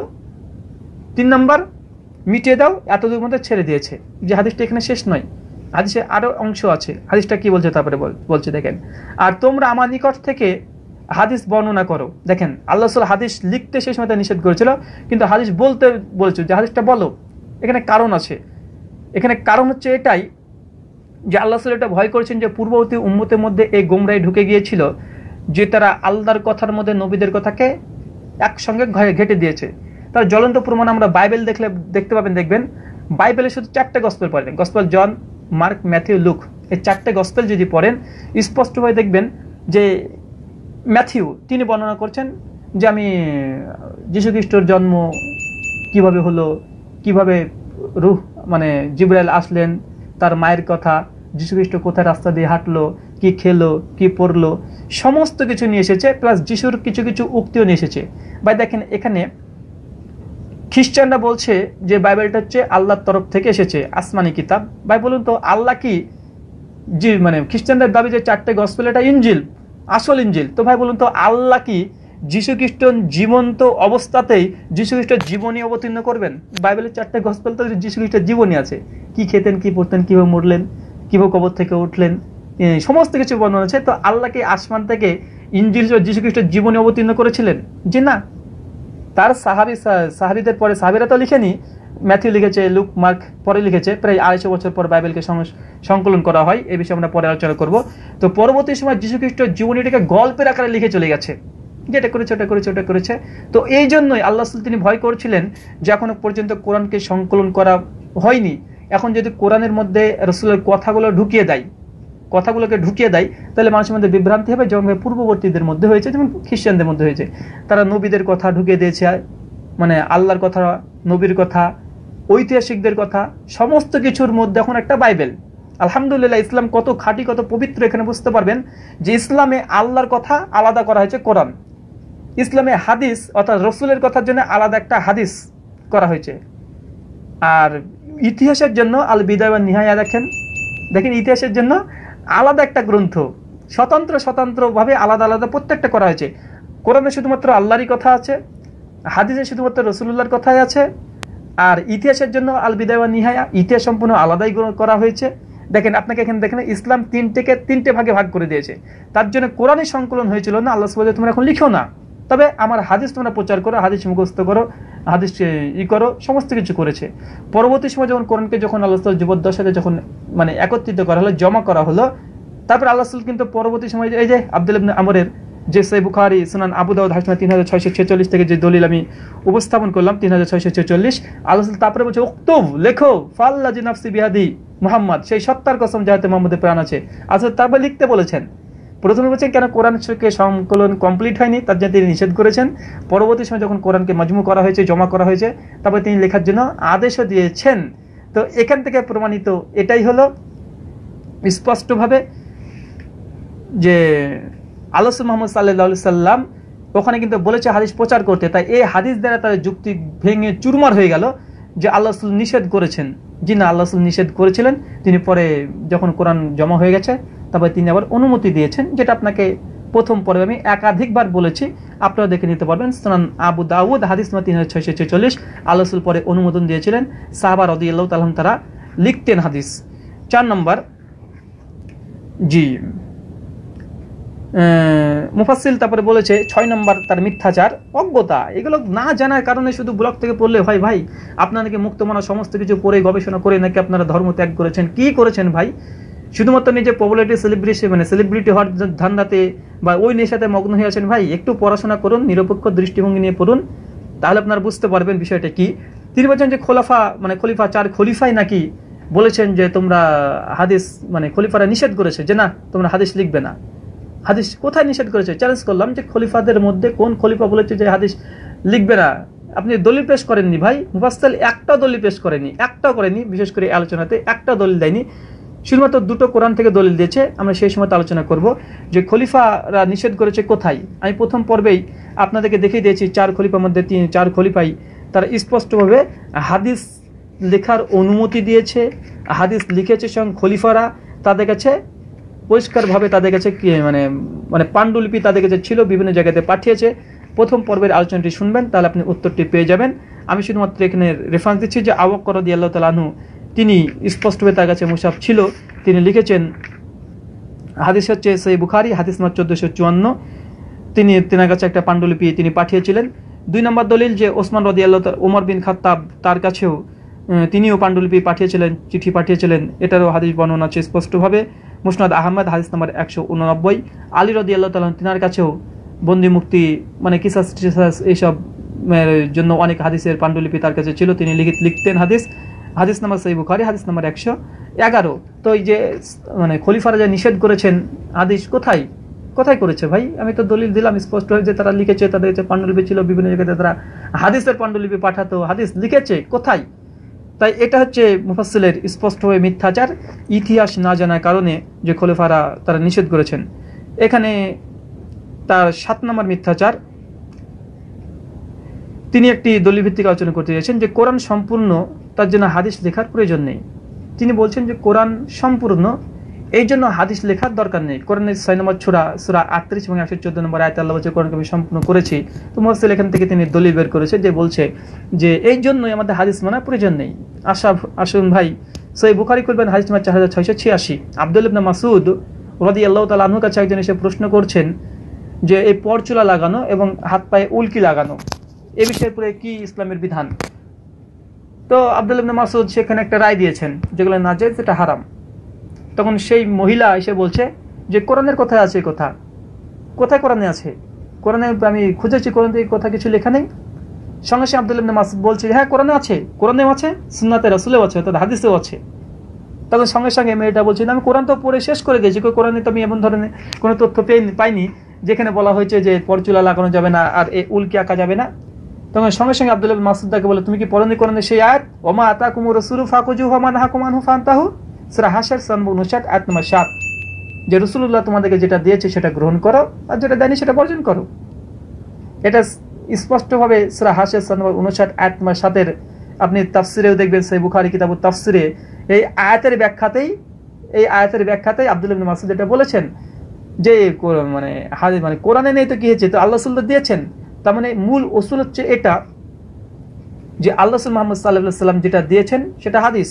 তার জন্য আব্দুল মাসুদ বলছে যে, তুমি কি কোরআনের ওই আয়াত পড়ো যে রসুল তোমাকে যেটা দেয়? অর্থাৎ হাদিস দিয়েছে। তাই ইসরা আনামের আটত্রিশ নম্বর কোরআন সম্পূর্ণ কোরআন সম্পূর্ণ আছে। তার জন্য হাদিসে যেতে যাবে না এমনটি নয়। হাত কোরআনে নির্দেশ দিচ্ছে যে রসুলের হাদিসে যেতে হবে। কোরআন নির্দেশ দিচ্ছে যে রসুল তোমাকে যেটা দেয় সেটা গ্রহণ করো। তো কোনটা দিয়েছে? তিনি হাদিস দিয়েছেন আমাদেরকে। তো গ্রহণ করো। কোরআনে দেখে দিচ্ছে রেফারেন্স দিচ্ছে। কোনো সমস্যায় যখন পড়ে যাবে, তখন হাদিস দেখতে হবে। ওমা আতাকুম রসুল ফাকুজুহু রসুল তোমাকে যেটা দেয়, সেটা গ্রহণ করো। সুরা নিসা, আয়াত নম্বর 115 আল্লাহ বলছেন, ওমা ইশাকিকে রাসূলা মিন বাদি মা তাবান্নাল হুদা ইয়াত্তাবি গায়রি সাবিলিল মুমিনিন। যে কোরআন এবং হাদিস সুস্পষ্ট হয়ে যাওয়ার পরেও সাহাবা রাদিয়াল্লাহু তাআলা পথকে ছেড়ে দিল। স্পষ্টভাবে এখানে সমস্ত মুফাসসিররা একমত। এখানে কোরআন হাদিসের কথা বলা হয়েছে কেন কোরআন যখন বলছে মানে রেফারেন্স দিচ্ছে, তুমি ওই গ্রন্থটি দেখো। কোরআনই বলছে তো কোরআনটা কোরআন তো কমপ্লিট এতে কোনো সমস্যা নেই। কোরআন আবার বলছে, তোমরা তার জন্য মোহাম্মদ সাল্লামের এই কথাটি দেখবে। তো কোরআন তো সম্পূর্ণই থাকল। এটা তো অসম্পূর্ণ কোনো জায়গা বা কোনো গত্যান্তর কিছু নেই। তাই এটা হাদিসটিকে মানে কোরআনের আয়াত থেকে না বোঝার এটা শুধুমাত্র নামান্তর ছাড়া কিছু না। না বোঝার এটা নাম শুধুমাত্র বোঝেনি, অজ্ঞতা ছাড়া কিছু না, তার জন্য এই কোরআন থেকে দলিল দিয়েছে। এখানে নয় নম্বর মিথ্যাচার যেটা করেছে মুফাসসিল, তিনি বলেছেন এখানে যে হাদিসের প্রয়োজন নেই, সেটা কোরআনেই আছে। তার জন্য সুরা আনাম থেকে দলিল দিয়েছে যে কোরআন কমপ্লিট, তার জন্য দ্বিতীয় কোনো গ্রন্থের দরকার নেই। তারপরে তিনি আরেকটি উদাহরণ পেশ করেছেন যে আল্লাহ চাইলে তিনি আরও অনেক গ্রন্থ দিতে পারতেন, তবে আল্লাহ দেয়নি। কোরআনে এই কথা আছে, তাই বলেছেন। তিনি দলিল দিয়েছেন সুরা কাহাফ নম্বর আঠারো, আয়াত একশো নয় এবং সুরা লুকমান নম্বর একত্রিশ, আয়াত সাতাশ। এর দুটো দলিল দিয়েছেন এবং বক্তৃতা শুনবেন তিনি বলছেন যে আল্লাহ চাইলে তিনি আরও কিতাব দিতে পারতেন, কিন্তু তিনি দেননি, কেননা কোরআনই যথেষ্ট। এটা মুহাসিলের দাবি। আসলে কোরআনের সুরা লুকমানে এই আয়াত কি আছে? এই তো কোরআন, আমরা খুলে দেখি, সুরা লুক সুরা কাহাব প্রথমে খুলি, তিনি প্রথমে কাহাবের উদ্ধৃতি দিয়েছেন। উদ্ধৃতি দিয়েছে, আমি কাহাব থেকে প্রথমে দেখছি আঠান্ন বছর একশো নয় নম্বর আয়াত। সেখানে কি আল্লাহকে আসলে বলেছে যে আল্লাহ চাইলে আরও গ্রন্থ দিতে পারতো, কিন্তু আল্লাহ দেয়নি, কেননা কোরআনই স্পষ্টভাবে সমস্ত কিছু আছে, এই জন্যই। আসেন, দেখেন এখানে। আমরা খুলছি। হ্যাঁ সেটা কাহাফ, আয়াত নম্বর একশো নয়। দেখেন, কি বলছে আল্লাহ? তুমি বলো, আমার প্রতিপালকের কথা লিপিবদ্ধ করিবার জন্য সমুদ্র যদি কালি হয়, তবে আমার প্রতিপালকের কথা শেষ হবার পূর্বেই সমুদ্র নিঃশেষ হয়ে যাবে। সাজার্থে যদি ও এর মতো আর একটি কালের জন্য সমুদ্র আনয়ন করি। মূলত কোরআন বলছে যে আল্লাহ সুবরত যে পবিত্র কোরআন অবতীর্ণ করেছে, এটা যদি ব্যাখ্যা করতে যায়, লিখতে যায়, তাহলে আসমান আর জমিন, আসমানকে যদি মানে আসমানকে যদি খাতা করা হয় আর সমস্ত বৃক্ষ রাজ্যকে যদি কলম করা হয়, তবে এটা এর ব্যাখ্যা করে লিখে শেষ করা যাবে না। কোরআন তো তাই বলছে। কোথায় বলছে? যে আল্লাহ চাইলে আর একটা গ্রন্থ দিতে পারতেন, কিন্তু তিনি দেননি কেন? কোরআন কমপ্লিট। আসুন, সুরা কাহাপেতে তো এমন কোনো তথ্য পাওয়া গেল না। সুরা লুকমানের দিয়েছে, একত্রিশ নম্বর, সুরা সাতাশ নম্বর আয়াত। সুরা লুকমান থেকে আমরা পড়ি। দেখি কি বলে, সেখানে কীরকম কোনো তথ্য আছে যেটা মুফাসিল দাবি করেছে? আসলে নাস্তিকদের সম্পূর্ণ দাবি হয় অর্ধেক আয়াতের কাট করবে অথবা মিথ্যা ভিত্তিহীন তারা চেক করবে না। মুফাসিলের চ্যালেঞ্জ করছি, তিনি ব্লক থেকে পড়েছেন কিন্তু আয়াত চেক করেননি কোরআনে। তুই তো খুলে দেখি তো আসলে এরকম কোনো কথা আছে কি? তিনি চেক করেননি। তিনি চেক করলে কখনো তিনি এই দলিল উপস্থাপন করতে পারতেন না, যেখানে টাচ পরিমাণে নাই। যে দাবি দাবি কোনো টাচ পর্যন্ত নেই। সাতাশ নম্বর আয়াত দেখেন, কি বলছেন আল্লাহ আবার? স্যার লুকমান আত্ম সাতাশ পৃথিবীর সমস্ত বৃক্ষরাজি যদি কলম হয় এবং সমুদ্রের মানে এই সমুদ্রের সাথে যদি আরও সাত সমুদ্রকে যুক্ত হয়ে কালি হয়, তবু আল্লাহ সুবাহতাল্লাহর বাণী, তার গুণবলী লিখে শেষ করা যাবে না। আল্লাহ পরাক্রমশালী, প্রজ্ঞাময়। কি বলছে ভাই? একই কথা কোরআনের কথা বলছে। কোরআনকে যদি কেউ যদি ব্যাখ্যা করতে চায়, আসমানকে যদি খাতা করে ফেলা হয়, বৃক্ষরাজিকে যদি কলম করা হয়, তবু লিখে শেষ করা যাবে না। আল্লাহ প্রজ্ঞাময়। কই, কোথায় বলেছে ভাই? কি তার যে মিথ্যাচার ভাই? যে আপনি কোরআন থেকে দলিল দিচ্ছেন, যেটা আপনার দাবি সে দাবির পক্ষে মানে টাচ পরিমাণে নেই, তার অংশ বিশেষে নেই। তার অংশ বিশেষে নেই যে কোরআন সম্পূর্ণ আল্লাহ চাইলে অন্য কিতাব দিতে পারতেন কিন্তু দেননি। কোথায় দলিল ভাই? এটা চূড়ান্ত মিথ্যাচার ভাই। অন্তত মিথ্যাচার থেকে বন্ধ করুন, মিথ্যাচার করাটা বন্ধ করুন। আপনারা বলছেন তথ্য দেন, যে নাকি সহি কথা বলেন, সঠিক কথা বলেন। মুসলমানরা আপনার জব দিতে পারবে না। তবে এত মিথ্যাচার করলে জব দিব কীভাবে? আপনার চব্বিশ মিনিটে যদি মিথ্যাচার ধরতে যায়, আমি এখানে অলরেডি আপনাদের দশ নম্বর মিথ্যাচার আপনাদেরকে বলে দিলাম যে একটা মিথ্যাচার করেছে, যার পক্ষে কোনো দলিলই নেই, কোনো দলিল নেই। দলিল বিহীন তিনি কথা বলছেন, তিনি ইসলামের সমালোচনা করছেন, বা সমালোচনা করতে হলে জ্ঞান লাগে, ইলম লাগে। একটু জ্ঞান অর্জন করুন, তারপর সমালোচনা করুন, আলহামদুলিল্লাহ, আপনার তথ্য, আপনার গবেষণা যদি সঠিক হয়, আমরা বিচার বিশ্লেষণ করে দেখব যদি আপনার গবেষণা সঠিক হয়, আমরা গ্রহণ করব। কিন্তু আপনি মিথ্যা কথা বলে জনসাধারণকে ধোকা দিচ্ছেন এটা তো কখনোই গ্রহণযোগ্য নয়। আর এটাই কি মুক্তমনার পরিচয়? যে মুক্তমনা হলেই কি মিথ্যা কথা বলতে হবে? মুক্তমনা হলে কি মানে কোরআন বা হাদিস থেকে অর্ধেক মানে কাট করতে হবে? মুক্তমনা হলেই কি শুধুমাত্র ব্লগ থেকে কপি করে পোস্ট করে দিতে হবে? মুক্তমনা হলেই কি শুধুমাত্র উল্টা পাল্টা বুঝিয়ে মানুষের কাছে নিজের মহত্তা বর্ণনা করতে হবে? এমন কেন ভাই? এটা যদি মুক্তমনা পরিচয় হয়, এরকম মুক্তমনাকে আমরা মানে তার ডান দিকে থুতু ফেলব না, বাম দিকে ফেলব না। ওই দিকে যাবোই না এরকম মুক্ত মনে হলে। থুতু ফেলাকে আমরা মনে করি এরকম মুক্ত মনের কাছে আমরা ঘৃণাবোধ করি? যারা মিথ্যা কথা বলে আবার তারা মুক্ত মনা পরিচয় দিতে চাই ভাই, যদি সমালোচনা করতে হয় অথেন্টিক সোর্স দিয়ে আপনি সমালোচনা করেন, আপনাকে আহলান সাহলান, আপনাকে ধন্যবাদ দেবো। আপনার কথাগুলোকে আমরা তদন্ত করে, গবেষণা করে দেখার চেষ্টা করব আপনার কথা কি ঠিক, কিন্তু আপনি কি দলিল দিয়েছেন যে দলিলের সঙ্গে কোনো কিছু মিল নেই? আমরা শেষে আরও আসছি। জি। তিনি তারপরে বলেছেন যে ওমর বিন আব্দুল আজিজ, তিনি প্রায় একশো হিজড়ির দিকে প্রথম হাদিস সংকলনের জন্য তিনি নির্দেশ দেন কে ওমর বিন আব্দুল আজিজ পঞ্চম খলিফা। আমরা জানি নব্বই, নিরানব্বই হিজড়িতে খলিফা হন। তো যাই হোক ভাই, ওমর বিন আব্দুল আজিজ, তিনি আনুষ্ঠানিকভাবে, সরকারিভাবে তিনি নির্দেশ দিয়েছেন। আনুষ্ঠানিকভাবে। কিন্তু তার আগে অলরেডি হাদিস নিয়ে গবেষণা পড়াশোনা চলছে। কেন ইমাম মালিক তিরানব্বই হিজদের জন্মগ্রহণ করেছে? এবং আবু হানিফা তিরাশি, আশি হিজদের জন্মগ্রহণ করেছে। আবদুল্লাহ বিন মুবারক তিনি তিরানব্বই হিজদিতে জন্মগ্রহণ করেছে। যার তিনটে গ্রন্থ আপনাদেরকে সামনে অলরেডি দেখিয়ে দিলাম। তো তিনি যেহেতু ক্ষমতা আছেন, রাষ্ট্রনায়ক, তিনি ঘোষণা করেছেন যে তোমরা এখন হাদিস সংকলন করতে শুরু করো। তিনি ঘোষণা করেছেন এবং মুফাসিল এখানে অভিযোগ করেছেন যে ওমর বিন আব্দুল আজিজ তিনি যে ঘোষণা দিয়েছেন, এটা মোহাম্মদ সাল্লাহ সাল্লাম নিষেধ করেছে, কিন্তু তিনি ঘোষণা দিলেন। তো এটা মূলত ওমর আব্দুল বিন আব্দুল বি- মানে ওমর বিন আব্দুল আজিজ, তিনি আল্লাহ সাল্লার মানে মোকাবিলা মানে বৃদ্ধ আচরণ করেছে, বৃদ্ধ আচরণ করেছে। ভাই কোথায় বৃদ্ধ আচরণ করেছে? অলরেডি আল্লাহ রসুল বলে দিচ্ছে উক্তুব লেখো। লিখতে বলছেন হাদিস। সাহাবারা লিখেছে, তাবেরা লিখেছে, তিনি এখানে বিরুদ্ধ আচরণ করেনি। আপনি ইতিহাস জানেন না, হাদিস না পড়েই আপনি চলে এসেছেন সমালোচনা করতে। তা আপনার অজ্ঞতার জন্য প্রশ্ন করেছেন। এটা কোনো প্রশ্নই নেই, এটা আপনার অজ্ঞতার বহিঃপ্রকাশ। ওমর বিন আব্দুল আজিজের পূর্বেও সাহাবারা কিতাবপত্র লিখেছে, অনেক তাবেরা কিতাবপত্র লিখেছে। আমরা প্রথমে প্রমাণ দিয়ে দিয়েছি যে ইমাম মালিকের কিতাব থেকে। যাই হোক তারপরে তিনি বলেছেন যে মুয়াত্তা মালিক এই গ্রন্থে প্রায় পাঁচশো খানা হাদিস আছে। মুয়াত্তা মালিকে বলছে পাঁচশো কোনো হাদিস আছে। ভাই, মুয়াত্তা মালিকে এখন যেটা পাওয়া যাচ্ছে, আমাদের কাছে আছে মুয়াত্তা মালিক ভাই। কেমন ইনফরমেশন দিয়েছেন? প্রায় মাক্তবাই শামলা সংস্করণ যেটা আছে, যেটা আমার কাছে সাইবানি বর্ণনা অনুসারে, আমি দেখিনি একবার এখানে কি আছে। মাক্তবাই শ্যামলা থেকে যে দেখেন হ্যাঁ মোহাত্তা মালিক রয়তু মোহাম্মদ হাসান বিন সাইবানি, বুক নম্বর একশো উনআশি, মাক্তবাই শামলা সংস্করণ। এখানে প্রায় হাদিস আছে তিন হাজার সত্তর খানা এখানে প্রায় তিন হাজার সত্তর খানা হাদিস আছে যেটা মোয়াত্তা মালিকে ইসলামিক ফাউন্ডেশন থেকেও এই দুটো খণ্ডে কেবলমাত্র বের করেছে, দুটো খণ্ডে বের করেছে মোয়াত্তা মালিক।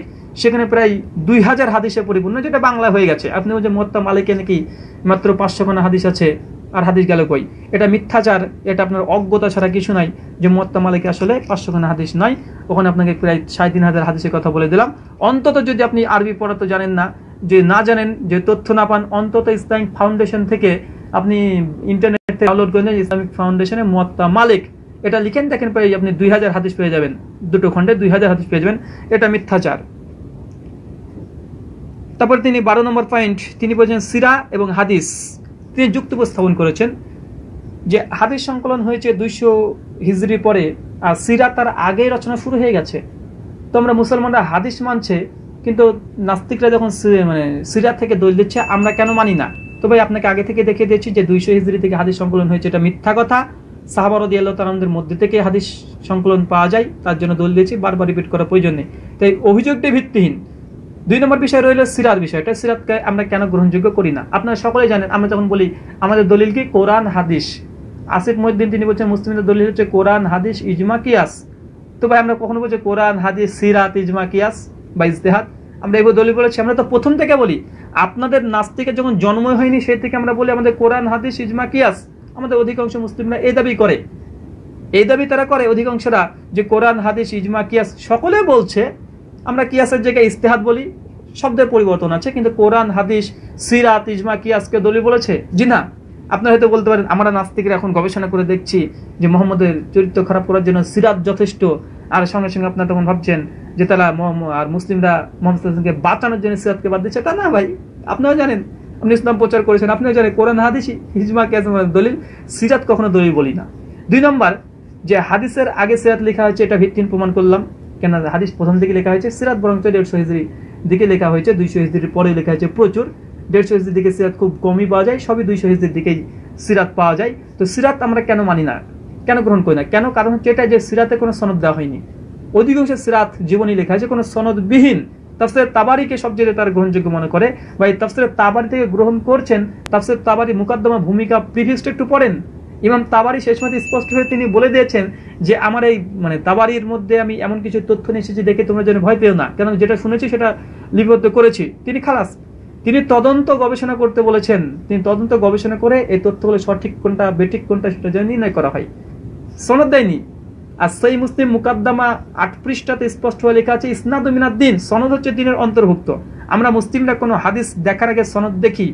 মতন দেখি, তারপরে গ্রহণ করি। আমরা অনেক হাদিস আছে যেগুলো গ্রহণ করি না।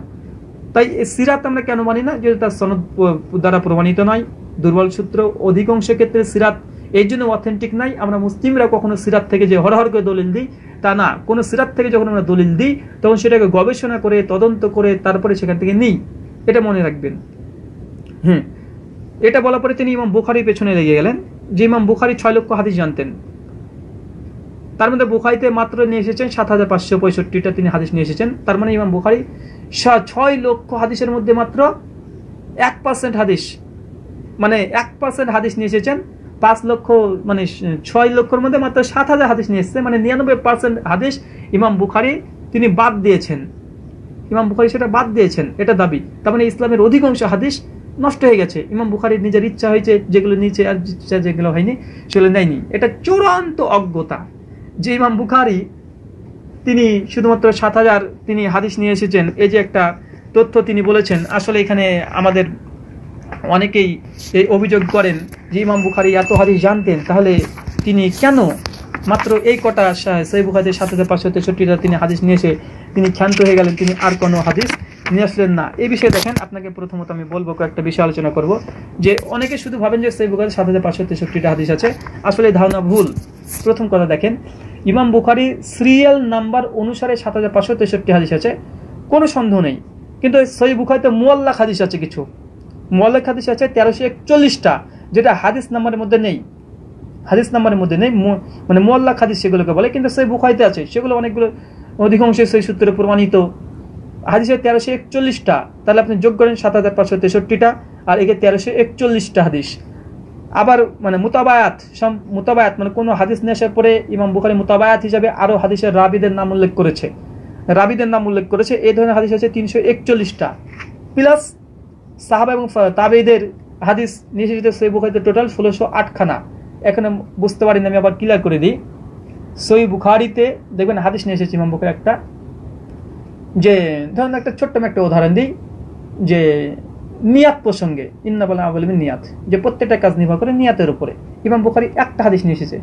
নিয়ে আসার পরে তিনি বলছেন, এই হাদিসটা ওমর, ওসমান এবং আবু হুরায়রা, উবায়দা বিন সামিদ থেকে বর্ণনা আছে। ইমাম বুখারি একটা হাদিস নিয়ে এসেছে, আর চারজন রাবির নাম বর্ণনা করে দিলেন। তো হাদিস কিন্তু একটা, কিন্তু চারজন রাবির নাম বর্ণনা করেছে, এই হাদিসটা বর্ণনা আছে।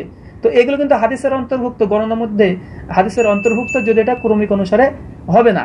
তো এইভাবে মোয়াল্লাক হাদিস তেরোশো একচল্লিশটা আছে, যেগুলো হাদিস নাম্বারের মধ্যে নেই। কিন্তু তিনি মোতাবায়াত হিসেবে নিয়ে এসেছেন, মোয়াল্লাক হিসেবে নিয়ে এসেছেন।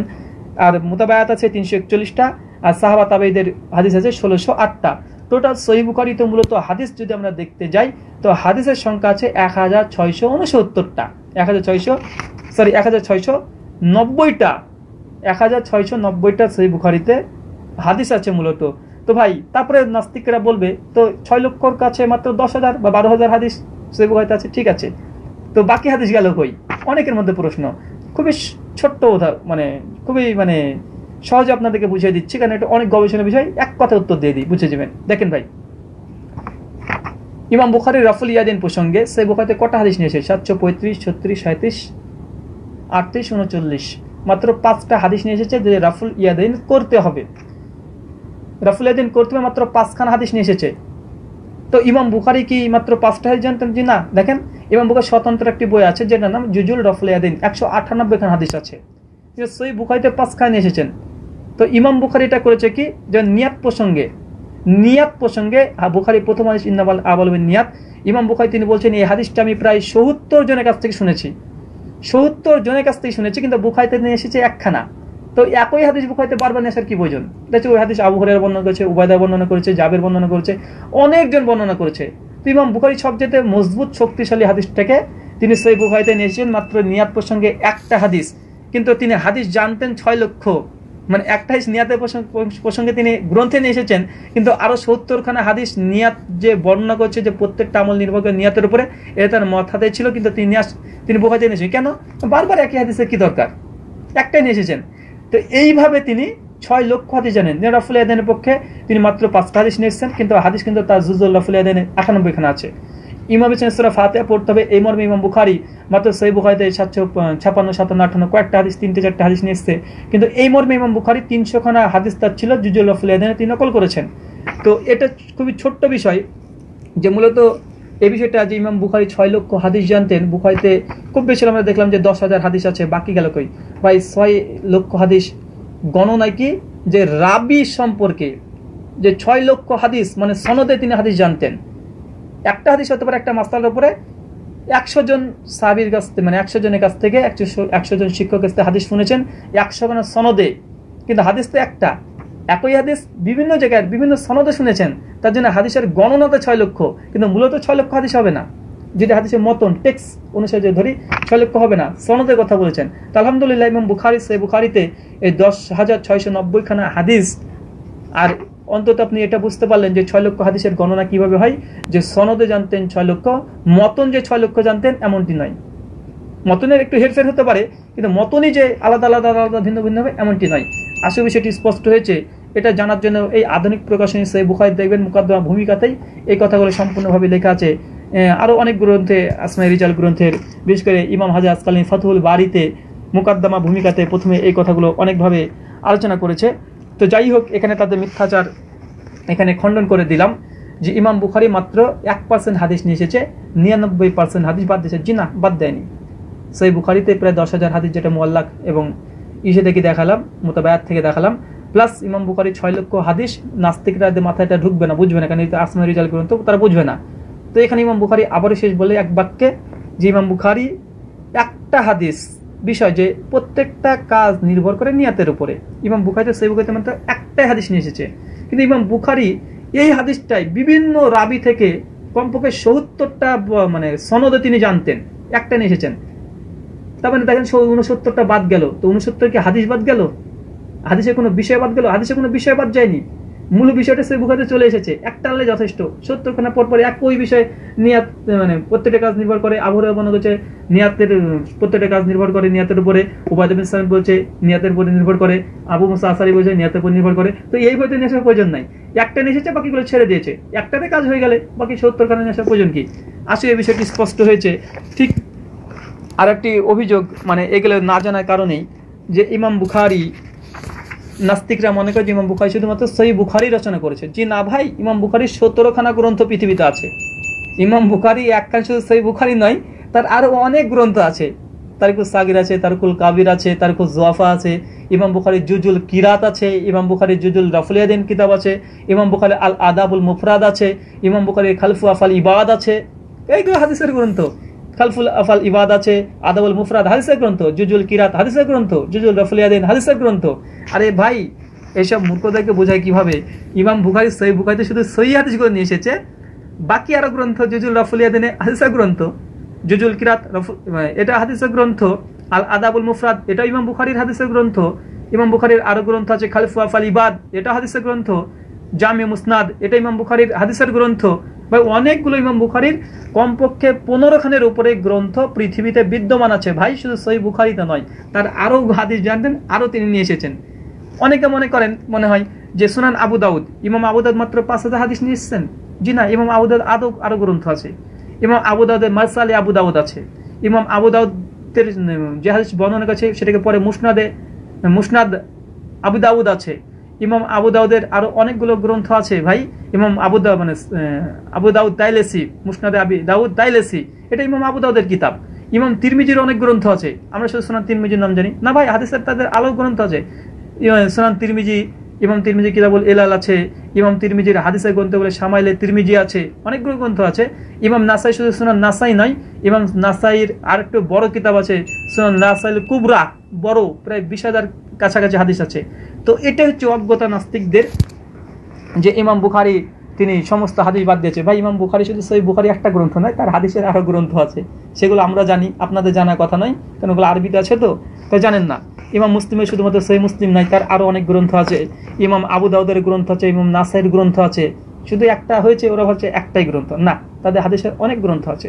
তো যাই হোক, তিনি বুখারিপুরে এই অভিযোগ করেছিলেন, তেরো নম্বর মিথ্যাচার, অজ্ঞতা। আসলে এগুলো মিথ্যাচার না, এগুলো অজ্ঞতা। আর অজ্ঞতা করলে তারা বেশি বকবে, বেশি ভুল হবে, আর মানুষ ভাববে যে মনে ঠিকই বলছে। এগুলো না জানার কারণে। ঠিক এই বিষয়টি। যাই হোক, ইমাম এই অভিযোগ করেছেন যে ইমাম মুসলিমও প্রায় নিরানব্বই পার্সেন্ট হাদিস বাদ দিয়েছে। যে ভাই ইমাম মুসলিমের বাদ দিয়েছে তা নাই, এটা আপনার মূর্খতা, যেটা আমরা জবাব দিয়ে দিলাম। পনেরো নম্বর মিথ্যাচার চলে গেছে আবু মানে আবু হুরাইরার উপরে। কারণ যারা হাদিস বিদ্বেষী, তারা আবু যদি কোনো রকমভাবে খারাপ প্রমাণ করতে পারে, তাহলে তারা সাকসেস কেন? হাদিসের অধিকাংশ আবু হুরাইরা তিনি বর্ণনা করেছেন।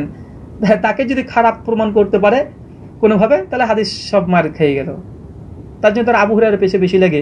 আর মুফাসিল এই কাজটি করেছেন, ব্লগ থেকে তিনি চুরি করে কপি করে তিনি পড়েছেন। আবু হুরাইরার উপরে বেশ কিছু মিথ্যাচার করেছে। প্রথমে বলেছেন যে আবু হুরার রদি আল্লাহ তালাহুর সঙ্গে আয়সা রদি আল্লাহ আনহার একটা দ্বন্দ্ব ছিল। চ্যালেঞ্জ করলাম, দ্বন্দ্ব কোথায় আছে প্রমাণ দেন। কোথায়? তিনি কোনো প্রমাণ দেননি। মুখে শুধু দাবি করছে, কোথায় ভাই, কোথায়? আবু হুরারের সঙ্গে আয়সার যে মানে যে দ্বন্দ্বটা কোথায়? কোথায় দ্বন্দ্ব? আসেন, একটা দলই পেশ করেন যে কোথায় দ্বন্দ্ব ছিল, কোথায় দল, দ্বন্দ্বটা কোথায়? চ্যালেঞ্জ থাকল। ষোলো নম্বর মিথ্যাচার, যে আয়সা রদি আল্লাহ তালা আনহা তিনি আবু হুরার রদি আল্লাহ তালাকে তিনি মিথ্যুক বলেছে। চ্যালেঞ্জ করলাম, প্রমাণ দেন, কোথায় আছে? কোথায় বলেছে মিথ্যা? ভাই, আপনি কেন মিথ্যাচার করছেন? যে কোথায় বলেছে আয়সা রদি আল্লাহ তালা আবু মিথ্যুক বলেছে? কোথায়? দলিল দেন। জি কেমন পর্যন্ত সময় থাকল, আমার মানে লাইফ টাইম চ্যালেঞ্জ থাকল যে দলিল পেশ করুন। সেই সনদে একটি দলিল দেন। শত নম্বর মিথ্যাচার যে আবু হুরায়রা প্রসঙ্গে আম্মাজান আয়সা রদি আল্লাহ তালা তিনি বলেছেন, যে আবু তুমি এমন হাদিস বর্ণনা করছ যে আমি কোনোদিনই শুনিনি। আবু হুরায়রা সম্পর্কে আলমাজান আয়সা নাকি এই কথা বলেছে। কোথায় বলেছে মুফাসিল সাহেব? একটু প্রমাণটা দেন। আপনি নাকি প্রমাণ ছাড়া কথা বলেন না, প্রমাণ ছাড়া কথা বলেন না। ওই ইন্টারনেটে ব্লগটা আপনার প্রমাণ। ওই ইসলাম বিদ্বেষী কোনো একটা সাইড আপনার প্রমাণ। সোর্সটা বলেন ভাই, যে এই কথাগুলো যে আছে, আপনি হচ্ছে ইসলামিক স্কলারদেরকে জিজ্ঞাসা করবেন, ভাই, কোথায়? কোথায় আছে ভাই? আপনি প্রমাণ দেন। ইসলামিক স্কলার কাছে কেন যেতে হবে? আপনার ইসলামিক স্কলার আপনি প্রমাণটা দেন। লাইফ টাইম চ্যালেঞ্জ থাকলে আপনি প্রমাণটা পেশ করবেন যে আবু হুরায়রাকে আয়সা রদি আল্লাহ তালানা তিনি বলেছেন স্পষ্টভাবে যে তুমি মিথ্যুক, তুমি এমন হাদিস বর্ণনা করছ যেটা আমি কখনোই শুনিনি। কোথায় জি না চ্যালেঞ্জ করলাম। আঠারো নম্বর মিথ্যাচার তিনি করেছেন যে আমাজান আয়সা রদি আল্লাহ তালাহা তিনি বলেছেন আবু হুরায়রাকে যে তুমি তো খাবারের জন্য তুমি আমাদের সঙ্গে পড়ে থাকো। আল্লাহ সাল্লাহ তুমি ঘুরে বেড়াও। তুমি তো একজন ভিক্ষুক, তুমি পাগল। এই যে তিনটে কথা বলছে, তিনটে মিথ্যা। যে আবু খাবারের জন্য ঘুরে বেড়াই বলেছে যে খাবারের জন্য তুমি ঘুরে বেড়াও, তুমি একটা পাগল, তুমি ভিক্ষুক, যে কথা কোনো গ্রন্থে প্রমাণিত নয় আবু হুরায়রা রদিয়াল্লাহ জীবনী যদি ভালোভাবে পড়েন, শিয়ার ও আনামের নুবালা, দ্বিতীয় খণ্ডের পাঁচশো আটাত্তর পৃষ্ঠাতে স্পষ্টভাবে আবু হুরায়রার যে বংশ মর্যাদা প্রসঙ্গে আলোচনা করা হয়েছে, তিনি কোনো সাধারণ ঘরের মানুষ ছিলেন না। তিনি ধনী পরিবারের ব্যক্তিত্ব ছিলেন। তিনি ধনী পরিবারের ব্যক্তিত্ব ছিলেন। এ বিষয়ে একটা হাদিস দিয়ে তাদের সমস্ত দলিল আমি নচ্ছাদ করে দেবো, শেষে দেবো। সে মিথ্যাচারগুলো শুনে নেন। উনিশ নম্বর মিথ্যাচার করেছেন যে আয়সা রদি আল্লাহ যখন তিনি মানে আবুরারকে বলেছিলেন যে তুমি তুমি খাবারের জন্য তুমি আমাদের সঙ্গে পড়ে থাকো, তুমি একজন পাগল, তুমি ভিক্ষুক, তো আবু হুরার রদি আল্লাহ নাকি আম্মাজান আয়সা রদি আল্লাহ আনাকে তিনি বলেছেন যে আপনি তো নিজের চেহারা দেখতে সবসময় ব্যস্ত থাকেন, আপনি তো নিজের মুখ দেখতে ব্যস্ত থাকেন, আপনি হাদিস শুনবেন কখন? চ্যালেঞ্জ করলাম, কোথায় আছে, এই কথা কোথায় আছে, এই যে তথ্য দিলেন, এই তথ্যটা কোথায় আছে? লাইফ টাইম এটার চ্যালেঞ্জ থাকলাম দেন প্রমাণটা, ভাই কোথায়? কুলহা কইন কোন তুমি সাদেকিন, যদি সত্যবাদী হয়ে থাকেন তবে প্রমাণ পেশ করেন। মিথ্যা কথা দিয়ে কেন আপনি নিজের মহত্ব বর্ণনা করতে চাইছেন? সবসময় বলেন, আপনি প্রমাণ পেশ করেন। কোথায়? এই যে আলোচনাটি করেছেন, কোথায় প্রমাণ দিয়েছেন? আপনি যে চব্বিশ মিনিট আলোচনাটা করেছেন, আপনি সবসময় বলেন যে প্রমাণ ছাড়া মুহাসিল কথা বলেন না, প্রমাণ ছাড়া। এই বক্তৃতা কোথায় প্রমাণ দিয়েছেন? দুটো প্রমাণ দিয়েছেন যে কোরআন কমপ্লিট, তার জন্য সুরা আনাম থেকে হ্যাঁ এটা প্রমাণ দিয়েছেন। আর সুরা কাহাব থেকে যে প্রমাণটা, ওটা তো মিথ্যা প্রমাণ দিয়েছেন। রেফারেন্সের সঙ্গে আপনার কোনো দাবির মিল নেই। ভ্রান্ত, তাও তো মিথ্যা তো আপনি বলেছেন। যাই হোক তো আপনি এখানে গোটা বক্তৃতা আপনি দিয়ে দিলেন চব্বিশ মিনিট, একটা প্রমাণ নেই, অথচ পঁচিশটা পয়েন্ট আউট করেছেন। মিথ্যাচার, যদি যদি আপনার যদি সাহস থাকে, এই বিষয়ে যদি ইলম থাকেন ওপেন চ্যালেঞ্জ গ্রহণ করেন ডিবেট হোক, বিতর্ক হোক, যে আপনি বিতর্ক করবেন এই বিষয়ে যে ইসলামী হাদিস সংকলনের ইতিহাস কোনো সমস্যা নেই ভাই, আপনার সঙ্গে বিতর্ক করতে রাজি আছি। আর আমি জানি যে আপনি কোশ্চেন কাল আপনি আসবেন না। ফাইল্লাম তাফালু, আপনি কখনো এর প্রমাণ পেশ করতে পার- পারবেন না। ওয়ালাম তাফালু, তারা কোশ্চেন কালেও এটা সক্ষম হবে না। সেটা বাকায়াত নাম্বার তেইশ এবং চব্বিশ। কুই নম্বর মিথ্যাচার, যে আসলে মানে এগুলো অপ্রাসঙ্গিক কথা তিনি বলেছেন, তিনি তখন এগেছে ভিডিওর মধ্যে। দেখুন, আবু হুরায়রা কিন্তু, আবু হুরায়রা কিন্তু মবিয়ার কাছে থাকতেন। আপনারা জানেন, আবু হুরায়রা কিন্তু মবিয়ার দিকে থাকতেন। আপনারা বুঝতে পারছেন বিষয়টা কোন দিকে গড়ছে। আসলে তিনি নিজে বসেন, বোঝেননি যে আবু মবিয়ার কাছে থাকতে তো কী হয়েছে? কী সমস্যা? মবিয়া খলিফা আবু হুরায়রা সাহাবি, তো তার কাছে থাকতে পারে, আমরা দুজনকে ভালোবাসি, তো তো ক্ষতি কি রে ভাই? আচ্ছা তিনি নিজে বোঝেননি, তার জন্য ওইভাবে বলছেন। যাই এটা কোনো মানে অজ্ঞতা তার জন্য প্রশ্নটি করেছিলেন, যে আপনারা বুঝতে পারছেন বিষয়টা কোন দিকে ঘুরছে আসলে নিজে বোঝেনি ওই ব্লগে আছে, ওটা পড়ে দিয়েছে, আর একটু অভিনয় করেছেন, অভিনয় করছেন। মূর্খ জাহেল সব জি, একুশ নম্বর তার অজ্ঞতা মিথ্যাচার, যে ওমর বলেছিল মানে ওমর আবু হুরায়রাকে বলেছিল যদি তুমি মিথ্যা কথা বলে বন্ধ না করো, তাহলে তোমাকে দেশ থেকে তাড়িয়ে দেওয়া হবে। চ্যালেঞ্জ করলাম যে ওমর বিন খাত্তাব কোথায় এ কথা বলেছিল? কোথায় বলেছিল, আপনি প্রমাণ পেশ করেন, আপনি প্রমাণ পেশ করেননি? কোনো প্রমাণ পেশ করেননি? আপনাকে একটা শুধুমাত্র তথ্য আমি দিয়ে দিই যে ওমর বিন খাত্তাব, আবু হুরায়রা কি কি তাড়িয়ে দেওয়ার কথা বলেছিল না তার প্রশংসা করেছে? একটু দেখে নেবেন, দলিলটা আমি আপনার সামনে দিয়ে দিচ্ছি।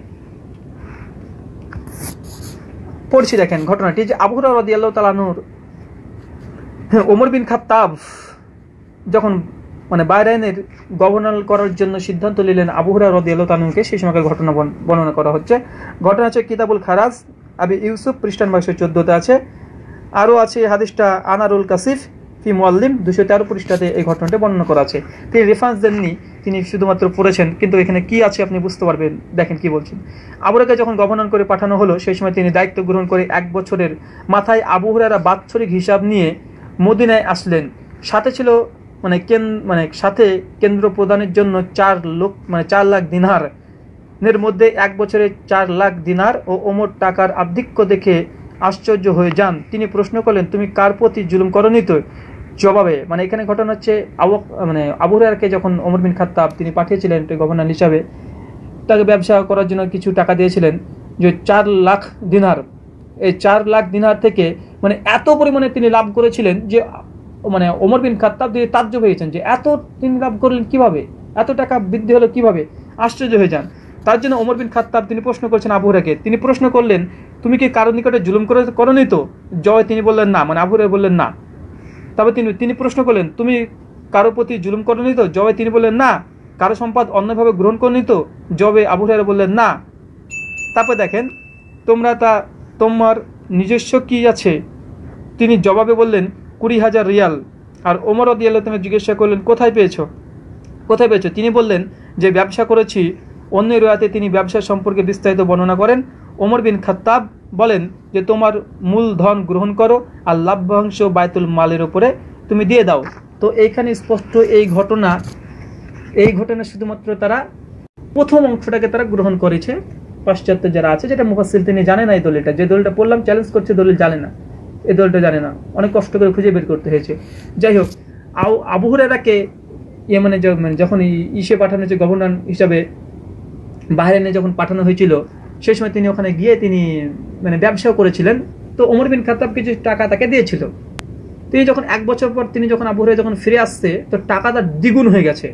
এসে ওমর বিন খাত্তাবের হাতে পুরো টাকাটা দিয়ে দিচ্ছে। ওমর বিন খাত্তাব তিনি দেখে তার যোগ যে এত টাকা আসলো কীভাবে? তখন প্রশ্ন করছে, তুমি কি আরও জুলুম করো নিত অন্য টাকা নে- নেছো নিত বলছে, না। তুমি, তোমার এখানে কি কি টাকা ছিল? তো মাত্র কুড়ি হাজার দিন হয়। তো ওমর বিন খাত্তাব সঙ্গে সঙ্গে ঠিক আছে, তাহলে যে টাকা আছে তুমি বাইতুল মালে দিয়ে দাও, তোমার তো তুমি নিয়ে নাও। আবুরা সেটা করে দিয়েছে। তো ভাই, এই যে বলল যে ওমর বিন খাত্তাব তাকে বলেছে যে, তুমি মিথ্যুক বা তুমি মিথ্যা না বলে তোমার দেশ থেকে তাই দেবো। কোথায় বলেছে ভাই?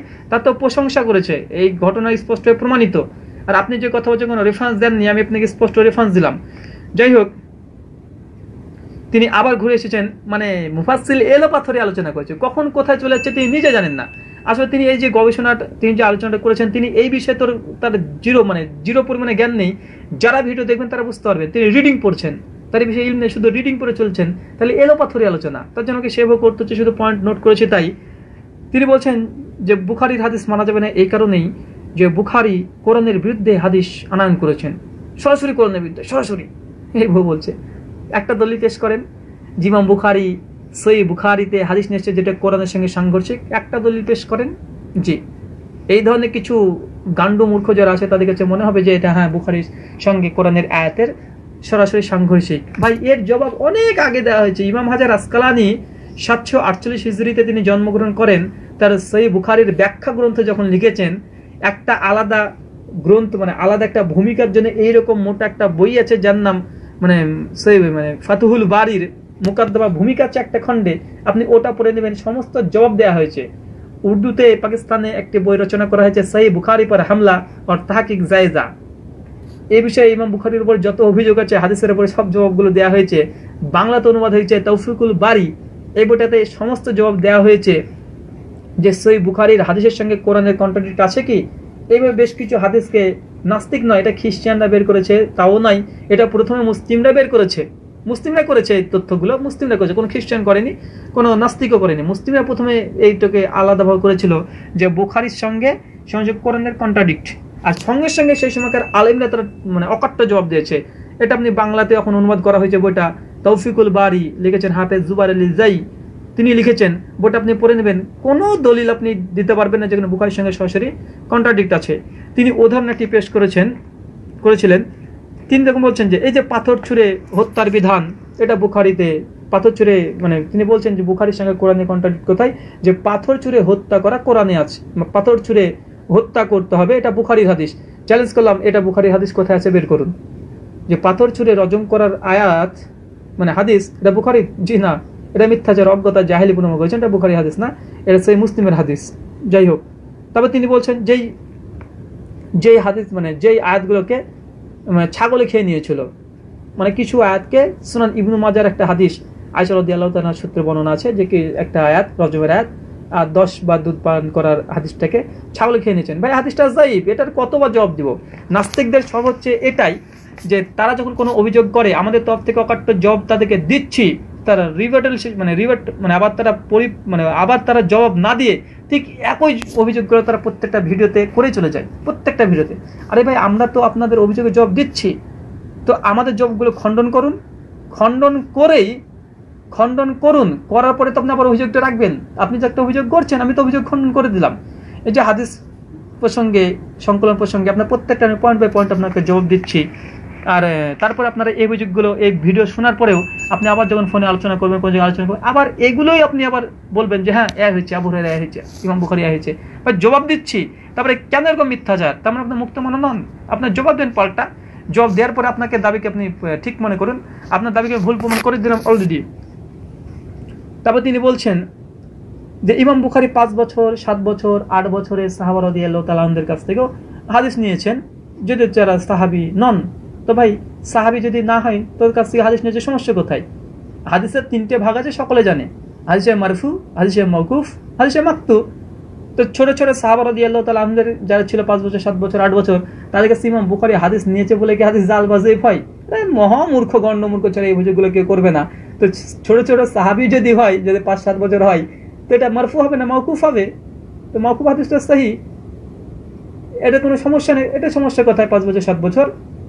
আর এটা কোনো ব্যাপার না, বাস্তব দেখেন যে একজন সাত বছরের ছেলে কোরআনে হাফেজ হয়ে যায়, সাত বছরের ন বছরের ছেলে হাফেজ হয়ে যায়। তো এখানে বা তার তাহলে আপনি তাকে বলবেন যে তার কোরআন মানে শুদ্ধ না বা কোরআন ঠিক হয়নি বা কোরআন মুখস্থ নেই? তো পাঁচ সাত বছরের ছেলে বা আট বছর ন বছরের ছেলে কেউ সাবারদি আল্লাহনের মধ্যে হাদিস যদি মুখস্থ হিপস মুখস্থ যদি থাকতো, ইমাম বুখারি তাদের কাছে হাদিস গ্রহণ করেছে, তো সমস্যা কোথায় ভাই? আর ইমাম বুখারি শুধু এই হাদিস নিয়েছে এমনটি নয়, অনেকের ধারণা আছে ইমাম বুখারির উপরে অভিযোগ দিলে হয়ে যায়। জি না ভাই? ইমাম বুখারি যে হাদিসটা নিয়েছে, ওই সনদে ওই সনদে আরও অনেক হাদিস আছে। আনাস বিন মালিক তিনি ছোট ছিল। ইমাম বুখারি শুধু আনাসের কাছ থেকে হাদিস নিয়েছেন তা নাই। আনাস ছোট পাঁচ বছর। ও আছে আবু হুরাইরের কাছ থেকে হাদিস নিয়েছে, একই মতন, একই ব্যাপারে হাদিস নিয়ে এসেছে। একই করে জাবেদ বিন সামুরের কাছ থেকে একই বিষয়ে হাদিস নিয়ে এসেছে। তো এই অভিযোগ আপনাদের নচ্ছাদ বাতিল হয়ে যাবে। যে আনাস ছোট বলেই তার হাদিস জাল হবে, এটা মিথ্যা ধোকাবাজি। কেন ইমাম বুখারি শুধুমাত্র একজন রাবি থেকে হাদিস নিয়েছে এমনটি নয়, ওরকম আরও বিশ জন রাবির কাছ থেকে হাদিস নিয়ে শ্রবণ করে তারপরে তিনি নিয়েছেন। তাই এটা হাদিসের ওসুলে হাদিস না জানা একটা অজ্ঞতা, জাহালাত ছাড়া কিছু না। তারপর তিনি বলেছেন, ইমাম গাজ্জালি, তিনি আবার বলেছেন যে শুধু সাহাবি আল্লাহ রসুলকে দেখলে হবে না, যুদ্ধে অংশগ্রহণ করতে হবে তবে সাহাবি। এটা মূর্খতা চরম মূর্খতা। এই কথা তিনি প্রমাণ দেননি, শুধুমাত্র বলে চলেছেন ছাগলে মানে রেখে মুখস্থ পড়ে চলে গেছে রিডিং পড়ে চলে গেছে, আর শুধু বলছে, বুঝতে পারছেন তার মানে ব্যাপারটা কোন দিকে ঘুরছে আসলে তিনি নিজে বোঝেননি যে ব্যাপারটা কোন দিকে ঘুরছে ইমাম গাজ্জালি কেন বলেছে মানে সংজ্ঞাটা কেন দিয়েছে? আচ্ছা সংজ্ঞা, সাহাবির সংজ্ঞা হচ্ছে কি, যে ব্যক্তি আল্লাহ রসুলকে দেখেছে, ইমানের সঙ্গে ইমানের সঙ্গে মৃত্যুবরণ করেছে। এ হচ্ছে সাহাবি। এখানে প্রশ্ন আসতে পারে যে আবু জাহেল আল্লাহ রসুলকে দেখেছে, তিনি কি তার সাহাবি? জি না, দেখলে শুধু সাহাবি না, তার জন্য এখানে কি ইমানের সঙ্গে দেখেছে? এবং ইমানের সঙ্গে মৃত্যুবরণ করেছে তারা সাহাবি। যেন অনেক মানুষ সেই সময় আল্লাহ রসুলকে দেখেছে মুনাফিকি করেছে, ভিতরে মানে ইমান নেই। তো এরা সাহাবির অন্তর্ভুক্ত নাই। সংজ্ঞাটা দেখেন, এর মধ্যে সব জবাব হয়ে যাবে। তো ইমাম গাজ্জালি তিনি কি বলেছেন? যে ইমাম গাজ্জালি এটাকেও তিনি অ্যাকসেপ্ট করেছেন। যে হ্যাঁ অবশ্যই যে আল্লাহ রসুলকে দেখেছে ইমাম গাজ্জালি এটাকে অ্যাকসেপ্ট করেছেন। তো সাহাবির ওখানে দুটো শব্দ আছে। এক রসুলকে দেখেছে, ইমানের সঙ্গে ইমানের সঙ্গে মৃত্যুবরণ করেছে।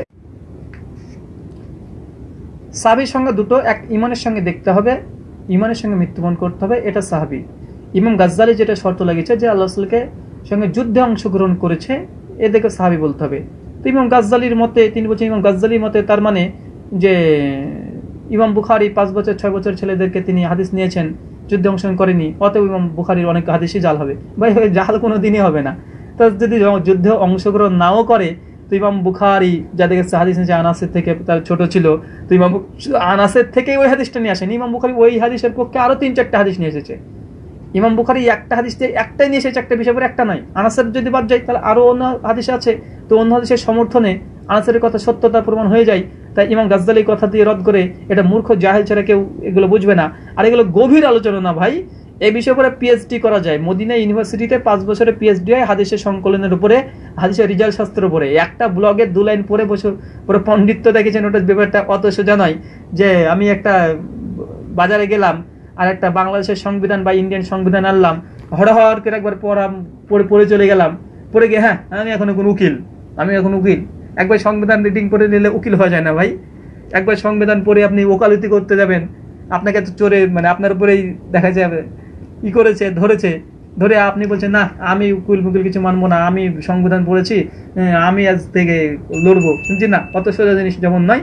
ঠিক এটাই নয়, যে একটা ব্লগ থেকে পরে আপনি হরহর করে মিথ্যাচার, এ প্রত্যেকটা বিষয় যদি গেলে উপস্থাপন করছি, এগুলো নিয়ে স্বতন্ত্র আলাদা আলাদা মানে আলোচনা করা যায়। দীর্ঘ দীর্ঘ বই আছে। আবু হুরায়রার উপরে, আবু হুরায়রার উপরে স্বতন্ত্র একটা বই আছে, আবু হুরায়রার উপরে গবেষণা করে বই লেখা। আবু হুরায়রার উপরে গবেষণা করে, তার হাদিসের উপরে গবেষণা করে একটা আলাদা গ্রন্থ রচনা করা হয়েছে। এইসব জাহেল এগুলো না দেখেছে, শুধুমাত্র ফেসবুক এই বিভিন্ন ব্লগ থেকে মুখস্থ, পড়ে রিডিং পড়া মুখস্থ না রিডিং পড়ে লাইভে এসে বললেই হয়ে গেল। যাই হোক, সর্বশেষ তিনি বলেছেন ছাব্বিশ নম্বর কথা, যে হাদিস সংকলনের ইতিহাস দেখলেই বোঝা যায় যে ইসলাম ধর্ম একটি মিথ্যা। তিনি বলছেন, এতগুলো মিথ্যাচার করেছে, আবার যে হাদিস সংকলন ইতিহাস দেখলে বোঝা যায় যে ইসলাম ধর্ম একটি মিথ্যা। বা হাদিস সংকলন দেখলে বোঝা যায় যে ইসলাম ধর্ম একটা মিরাক্কেল কেন? পৃথিবীতে এমন কোনো ইতিহাস নেই যেগুলো সনদ দিয়ে লেখা হয়েছে। সনদ দিয়ে। দেখেন, ইমাম বুখারি একশো চুরানব্বই হিজড়িতে তিনি জন্মগ্রহণ করছেন। আপনাকে ই দিয়ে বোঝাই, ইমাম মালিক তিরানব্বই হিজড়িতে তিনি জন্মগ্রহণ করেছেন। তিনি কথা নকল করছেন কার? মোহাম্মদ সাল্লাহ সাল্লাম। এই কাজটা করেছে। তো মোহাম্মদ সাল্লাহ সাল্লাম কাদেরকে বলছেন? সাহাব রদিয়াল্লাহ তাল আনন্দেরকে সাহাবিদের সময় ছিল আশি হিজড়ি পর্যন্ত ইমাম মালিক জন্মগ্রহণ করছে তিরানব্বই হিজড়িতে ইমাম মালিক দেশে বিশ বছর পরে তিনি মত্ত মালিক গ্রন্থটি রচনা করেছেন। তো তিনি কি ইমাম মালিক যখন গ্রন্থ রচনা করেছেন, তখন তিনি তার শিক্ষক তার শিক্ষক হলেন তাবেই। তখন আতাবিন আবির রবা, আমি ধরে নিলাম যে আতাবিন আবির রবা, তিনি একশো চোদ্দ হিজড়িতে মৃত্যুবরণ করেছে আতাবিন আবির রবা। ইমাম মালিক দেখছে আতাবিন আবির রবার কাছ থেকে একটা হাদিস শুনছে কি, যে প্রতিদিন পাঁচ ওয়াক্ত নামাজ পড়তে হবে, একটা হাদিস। এটা মুসলিমদের জন্য ফরজ। ইমাম মালিক দেখেন তিরানব্বই হিজড়িতে তিনি জন্মগ্রহণ করে ইমাম মালিক আতাবিন আবির রাবা একজন তাবি, তার কাছে হাদিস শুনছে যে পাঁচ ওয়াক্ত নামাজ পড়তে হবে। ওই তাবি কার কাছে শুনেছে? আবু আবু হুরায়রার কাছ থেকে। কারণ তাবি তাবি কাকে যে সাহাবিকে দেখেছে, সাহাবির কাছে হাদিস শুনেছে। তাবি তখন বলছে যে, আমি আবু হুরায়রা কাছ থেকে হাদিস শুনেছি। তিনি বলেছেন, আল্লাহ রসুল বলেছেন। তো ভাই, মাঝে কি? একটা ব্যক্তির মধ্যে দেখেন একশো বছর কভার হয়ে গেল। এই সনদে পৃথিবীর আর অন্য কোনো ইতিহাস নেই যে সনদ দিয়ে এই বই সংকলন করা হয়েছে। দেখেন স্বয়ং বাইবেল তিনশো হিজড়ি যীশু খ্রিস্টের কুচবিদ্যর তিনশো বছর পর, তথাকথিত কুচবিদ্যর তিনশো বছর পর বাইবেলকে সংকলন করা হয়। বাইবেলে কোনো সনদ নেই, কোনো সনদ নেই। কিন্তু হাদিস দেখেন, সনদ পৃথিবীর ইতিহাসের কোনো জায়গাতে দেখাতে পারবেন যে সনদ দিয়ে, অর্থাৎ রেফারেন্স দিয়ে যে আমি শুনেছি ওর কাছ থেকে, ও শুনেছি ওর কাছ থেকে, ও শুনেছি ওর কাছ থেকে, তারপরে এই চেন দিয়ে তারপরে একটা হাদিস, একটা কথা গ্রহণ করছে নেই তাই হাদিস যে সংকলন করা হচ্ছে এটা একটা মিরাক্কেল বিজ্ঞান সায়েন্স এটা একটা সায়েন্স যে এইভাবে কেউ আজ পর্যন্ত কোনো ইতিহাস, কোনো ব্যক্তি জীবন ব্যক্তির জীবনের সমস্ত ঘটনা কেউ লিপিবদ্ধ করেনি, যেটা ইসলাম শিখেছে। হাদিস সংকলনের ইতিহাস যদি পড়া যায়, বোঝা যাবে যে হাদিস মানে সংকলনের একটা নতুন বিজ্ঞান লুকে আছে। কেন? এই যে সনদের ব্যাপার কেউ করেনি আজ পর্যন্ত। কোনো ইতিহাসে নেই, এখন পর্যন্ত নেই। কেউ বলতে পারেন যে হিটলার এই কথা বলেছে। আমি বলে দিলাম, হিটলার এই কথা বলেছে। তো কোথায় বলেছে ভাই হিটলার এই কথা? নেতাজি সুভাষচন্দ্র বলেছে তোমরা আমাকে রক্ত দাও, আমি তোমাদেরকে স্বাধীনতা দেবো। তো ভাই, নেতাজির কথা, খুব প্রমাণ কোথায়? কোথায় বলেছে নেতাজি? নেতাজি কোথায় বলেছে? কোনো প্রমাণ নেই। কিন্তু ইমাম বুখারি, মুসলিম আহমদ তিরমিজি মাজা ইসলামের যত ইতিহাস মানে হাদিসে গ্রন্থ লেগেছে সরজ ইমাম বুখারি বলছে যে আমি আমার উস্তাদ আতাবিন আবির রহবার কাছ থেকে এই হাদিস শুনেছি। আতাবিন আবির রহবা তিনি একজন তাবেই। তিনি তখন বলছেন, আমি শুনেছি আবু হুরায়রার কাছ থেকে। হয়ে গেল হাদিস, কারণ আবু হুরায়রা সরাসরি আল্লাহ রসুলের কাছে শুনেছে। ইমাম বুখারি যদিও একশো চুরানব্বইতে জন্ম, তো ইমাম বুখারি দেখছে আতাবিন আবির কাছ থেকে হাদিস নিয়েছে। আতাবিন আবির কাছ থেকে নিয়েছে সেই বুখারিতে আছে সেই বুখারি বাবা একশো এগারো। আতাবিন আবির একজন তাবেই একশো চোদ্দ হিসেবে মৃত্যুবরণ করে। এ সরি আতাবিন আবির কাছ থেকে দেখেন হাদিস নিল, দিয়ে মাত্র দুটো একটা আছে বুখারে সুলসিয়াত অর্থাৎ তিনটে প্রজন্মের মধ্যে হাদিস আল্লাহ কাছে পর্যন্ত পৌঁছে গেছে, অনেক হাদিস আছে। তাই এগুলো অজ্ঞতা ছাড়া কিছু নয়। হাদিস সংকলনের ইতিহাস দেখলেই একজন অমুসলিম এসে ইসলাম কবুল করতে বাধ্য। কেন? যে একজন মানুষের জীবনী সনদ দিয়ে লিপিবদ্ধ করা হয়েছে। রেফারেন্স দিয়ে যে আমি এর কাছে শুনেছি এর কাছ শুনেছি এর কাছ শুনেছে। উনিশ বিশ হয়ে গেলেই সমস্যা আছে। যাই হোক, তারপরে বলেছেন যে জাকির নায়েক জাকির নায়েক তিনি পঞ্চাশ, একশো, দেড়শো বছর বলেছে, এটা থেকে প্রমাণিত হয় জাকির নায়েক ইসলামিক স্কলার হতে পারে না। কেন? তিনি এইসব বিষয়ে জ্ঞান নেই। তিনি এইসব বিষয়ে কথা বলেছেন। জি, এই কথায় প্রমাণিত যে আপনি নাস্তিক হওয়ার বা ইসলাম বিদ্বেষী হওয়ার দাবি মানে হতে দাবি করতে পারেন না। কেন? আপনার ইসলাম সম্পর্কে জ্ঞান নেই, ইতিহাস সম্পর্কে জ্ঞান নেই অজমনি সমালোচনা করতে এসেছেন। ডক্টর জাকির নায়েক ঠিকই বলেছেন যে পঞ্চাশ, একশো, দেড়শো। সংক্ষিপ্ততে আমি এক বাক্যে এখন সরাসরিভাবে তার প্রত্যেকটা প্রশ্নের জবাব আরেকবার দিয়ে দিব যাতে আপনাদের সুবিধা হয়ে যায়। যে প্রথম, যে ডক্টর জাকির নায়েক পঞ্চাশ, একশো, দেড়শো বছর এই কথা বলেছেন যে ডক্টর জাকির নায়েক বলছে পঞ্চাশ, একশো, দেড়শো বছর পরে আদি সংকলন শুরু হয়। এর মধ্যে শুরু হয় মোস্ত বলছে না দুশো। এটা সম্পূর্ণ মিথ্যা, দুশো নয়। দেখে দিয়েছি পঞ্চাশের মধ্যে ছিল, সাবিদের মধ্যে ছিল দুই। আবু সাইদ খুদ্রি, তিনি হাদিস অস্বীকার করেছেন, হাদিস লেখা যাবে না। প্রমাণ আপনি দেননি, প্রমাণ আপনার কাছে চাইছি, দলিল দেন। জায়দ বিন সাবেদ তিনিও নিষেধ করেছেন, জি এই কথা কোনো প্রমাণ নেই, তিনি প্রমাণ দেননি চ্যালেঞ্জ করেছি, প্রমাণ দিবেন। আবু সাইদ খুদ্রি মানে আবু সাইদ খুদ্রি যে হাদিসটা বলেছেন, যে আল্লাহ সাল্লাম যখন তিনি বলেছেন যে তোমরা হাদিস আর লিখো না, বা এই হাদিসের মধ্যে জব স্পষ্ট আল্লাহ রসুল বলছে যে তোমরা হাদিস বলো না, তবে এখন লিখো না, এ কথা বলেছেন। আর আল্লাহ সুনান আবুদার তিন হাজার ছয়শো ছেচল্লিশ নম্বর বলেছে যে, উক্তুব, তোমরা এখন লিখো। আল্লাহ লিখা নিজে দিয়েছে। সাহাবরদি আল্লাহ তালাহমরা লিখেছেন, আবু করুমর ওসমান, সবাই সাহাব, তারা হাদিসের গ্রন্থ লিখেছেন, এটা স্পষ্ট প্রমাণিত আছে। চার নম্বর যে খলেফার আশেদিন লিখতে নিষেধ করেছেন। যে কোনো প্রমাণ নেই যে খোলাফার রাশেদিন তারা লিখতে নিষেধ করেছেন। ওমর বিন খাত্তাব তিনি একবার নিষেধ করেছিলেন।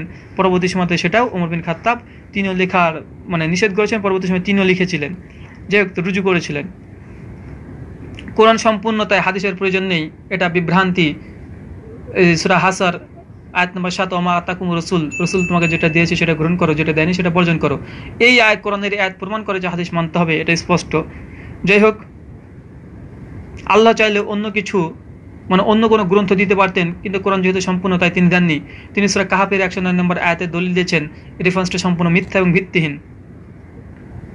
ওমর বিন আব্দুল আজিজ প্রথম হাদিসের সংকলনের নির্দেশ দেয়। বা ওমর বিন আব্দুল আজিজের পূর্বেই অনেক হাদিসের গ্রন্থ অলরেডি লিপিবদ্ধ ছিল, পাণ্ডুলিপি পৃথিবীর জমিনে এখন পর্যন্ত বিদ্যমান, সাহাবাদের পাণ্ডুলিপি পৃথিবীতে এখন পর্যন্ত বিদ্যমান। তারপরে বলছে মোহাম্মদ সাল্লাহ নিজেই অনেক হাদিস জ্বালিয়ে দিয়েছে। এটা চূড়ান্ত মিথ্যাচার যে হাদিস জ্বালিয়ে দিয়েছে। জায়দ বিন সাবেদ তিনি নিষেধ করেছেন, এটা মিথ্যাচার। মুয়াত্তাতে পাঁচশো হাদিস আছে, এটা মিথ্যাচার, পাঁচশো না, তিন হাজার প্লাস হাদিস আছে। সিরা এবং হাদিসের মধ্যে পার্থক্য বলে দিয়েছি, হাদিসের সনদ আছে, সিরা সনদ নেই, তার জন্য সেই মানে সিরাকে আমরা গ্রহণ করি না, যতক্ষণ না সেই সনদ প্রমাণিত হচ্ছে। বুখাইতে নিরানব্বই পার্সেন্ট হাদিস ইমাম বুখারি বিরানব্বই, নিরানব্বই পার্সেন্ট হাদিস বাদ দিয়েছে, এটা অজ্ঞতা ছাড়া কিছু না। ইমাম মুসলিম নিরানব্বই পার্সেন্ট হাদিস তিনি বাদ দিয়েছেন, এটা মূর্খতা ছাড়া কিছু না। যেটা জবাব দিয়েছি, আবু হুরায়রা আয়সা দ্বন্দ্ব ছিল। কোনো প্রমাণ দেয়নি, কোনো প্রমাণও নেই। আয়সা মিথ্যুক বলেছেন। জি আয়সা মিথ্যুক বলেনি। চার আবু হুরায়রা এমন হাদিস বর্ণনা করেছে মানে আয়সা বলেছেন যে, তুমি এমন হাদিস বর্ণনা করেছ যেগুলো আমি জানি না। এটা মিথ্যাচার। যাই হোক, এগুলো আমাদের ধারাবাহিকভাবে দেবো। একটা দলিল দিতে মনে নেই যে, তিনি বলেছেন যে, আবু হুরায়রা কে আল্লাহ, আম্মা যেন আয়সা রদি আল্লাহ তিনি বলেছেন যে, আবু হুরায়রা এমন হাদিস বর্ণনা করছে যেগুলো আমার জানা নেই। আসুন আমরা দেখার চেষ্টা করি যে আবু হুরায়রা কি আসলেই এই কথা বলেছে যে আমরা দেখাবো যে আবু হুরায়রা প্রসঙ্গে আম্মা যেন আয়সা রদি আল্লাহ তাআলা কি বলেছে। একটা হাদিস সেই বুখারি থেকে বের করি। হাদিসটা আছে, মুসনাদ আহমদ, হাদিস নাম্বার চুয়াল্লিশশো তিপান্ন মানে চার হাজার চারশো তিপান্ন একটা হাদিস দেখেন, ওমর বিন খাত্তাব তিনি হাদিস বর্ণনা, ওমর বিন খাত্তাব থেকে বর্ণিত, তিনি বলেন, একদা আবু হুরায় রদ আল্লাহ তানার পাশ দিয়ে অতিক্রম করছিলেন। আবু হুরায়রার রসুল সাল্লাহ সাল্লামের হাদিস শোনাচ্ছিলেন, যে ব্যক্তি জানাজার সালাতে উপস্থিত হবে, তার জন্য এক কিরাত নেকি, আর যে ব্যক্তি দাফনের অংশগ্রহণ করবে, তার জন্য দুই কিরাত নেকি, আর এক কিরাত পরিমাণ অহুদ পাহাড়ের চেয়েও বড়। এই হাদিস আবু হুরায়রা বর্ণনা করেছে। এই হাদিস শুনে ইবনু ওমর তাকে বললেন, আবু হুরায়রা, তুমি কি হাদিস বর্ণনা করছ? খেয়াল করো। ওমর বিন খাত্তাব, তিনি বলছেন যে, খেয়াল করো, তুমি কি হাদিস বর্ণনা করছ? তখন আবু হুরায়রা দাঁড়িয়ে গেলেন এবং ইবনু ওমরের হাত ধরে উম্মিন মুমিনিন হজরত আয়েশা রদিয়াল্লাহ তালাহ নিকাটে নিয়ে গেলে, গিয়ে বললেন, হে উম্মিল মুমিনিন, আমি আপনাকে আল্লাহর দোহাই দিয়ে বলছি, আপনি কি রসুল সাল্লাহ ইসলাম থেকে এই হাদিস শোনেননি? যে হাদিসটা তিনি বললেন। তখন আয়েশা রদিয়াল্লাহ তাআলা তিনি বললেন, জি হ্যাঁ জি হ্যাঁ আমি শুনেছি। অতবার ইবনু ওমর বললেন, আবু হুরায়রা, তুমি সত্যিই আমাদের চেয়ে বেশি হাদিসে রাসূল জানো। কেন তুমি আল্লাহ সাল্লামের সঙ্গে সবসময় তুমি থাকো? এখানে স্পষ্ট হাদিস দেখে নেন, আপনাকে দিয়ে দিলাম আমি।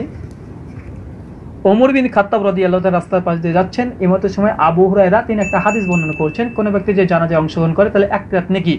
ওমর বিন খাত্তাব এই হাদিসটা তিনি জানতেন না। সঙ্গে সঙ্গে আবু হুরায়রাকে বলছে, আবু হুরায়রা, তুমি ভালো করে খেয়াল করে দেখো, তুমি যে হাদিসটা বর্ণনা করছ। এখানে কি না ধমক দিয়েছে ওমর বিন খাত্তাব তোকে মেরে তেরে দেবো? কিছু বলেনি? তুমি মনে করে দেখো যে ঠিক আছে কিনা হাদিসটা। সঙ্গে সঙ্গে ওমর বিন খাত্তাবের হাত ধরে কার কাছে নিয়ে গেছে? আম্মা জান আয়সারদি আল্লাহ তালা আনহার কাছে গিয়ে বলছেন যে, আপনি বলুন, আপনি কি হাদিসটা শুনেছেন?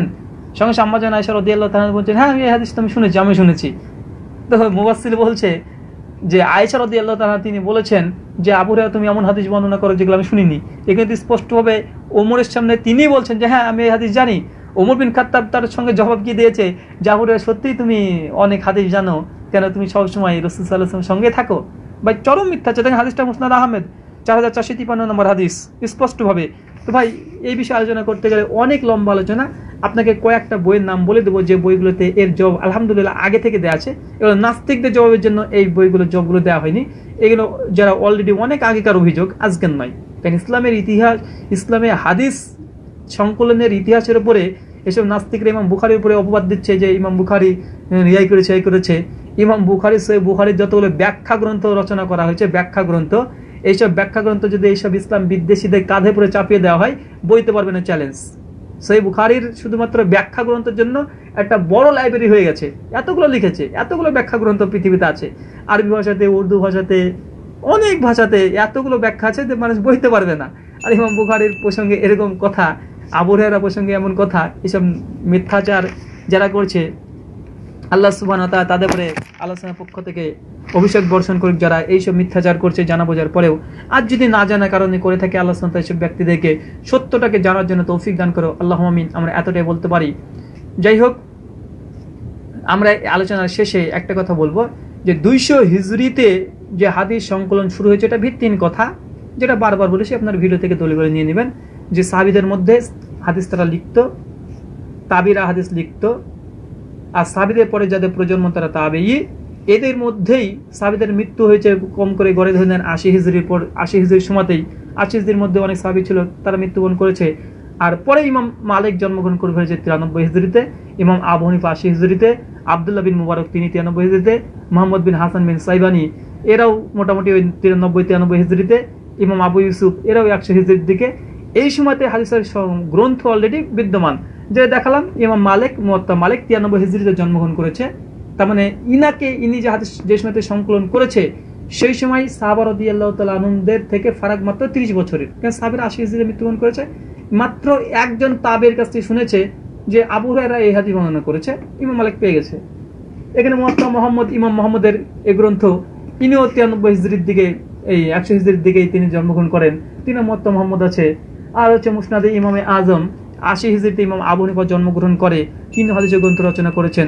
আব্দুল্লাহ বিন মুবারকের কিতাবুল জুহুদ কিতাবুল জিহাদ, অনেকগুলো গ্রন্থ আছে তিনি রচনা করেছেন। সাবিদের মধ্যে অনেক গ্রন্থ, তাবিদের মধ্যে অনেকজন গ্রন্থ সংকলন করে ফেলেছে। তার বিস্তারিত আমরা জবাব দিলাম এবং যৌক্তিক জবাব অনেকগুলো দিয়েছি।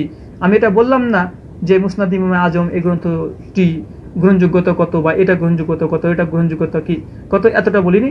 আমি শুধু দলিল উপস্থাপন করলাম এটাই যে না, সেই সময়তে হাদিসের কিতাবপত্র লেখা হয়েছে মাত্র বিশ বছরের মধ্যে, বিশ বছরের মধ্যেই হাদিস সংকলন করা শুরু হয়ে গেছে। এটা মিথ্যাচার যে দুইশো বছর, মাত্র বিশ বছর।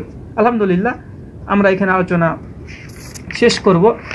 যাই হোক, এই বিষয়ে যারা জানতে চাইছেন, আপনারা যারা লাইভে আমার এই মুহূর্তে আপনারা দেখছেন, আপনারা যদি কেউ লাইভে অ্যাড হতে চান এই বিষয়ে আলোচনা করতে চান আমি আপনাদেরকে কিছুক্ষণ সময় দেবো। ভাই, আপনারা যারা অ্যাড হতে চাইছেন, তারা অ্যাড হতে পারেন। কেউ অ্যাড হতে চাইলে রিকোয়েস্ট পাঠান, আপনাকে অ্যাড করে নিচ্ছে। এই বিষয়ে আমি কথা বলতে চাইছি। কেউ যদি এই বিষয়ে আগ্রহ থাকে।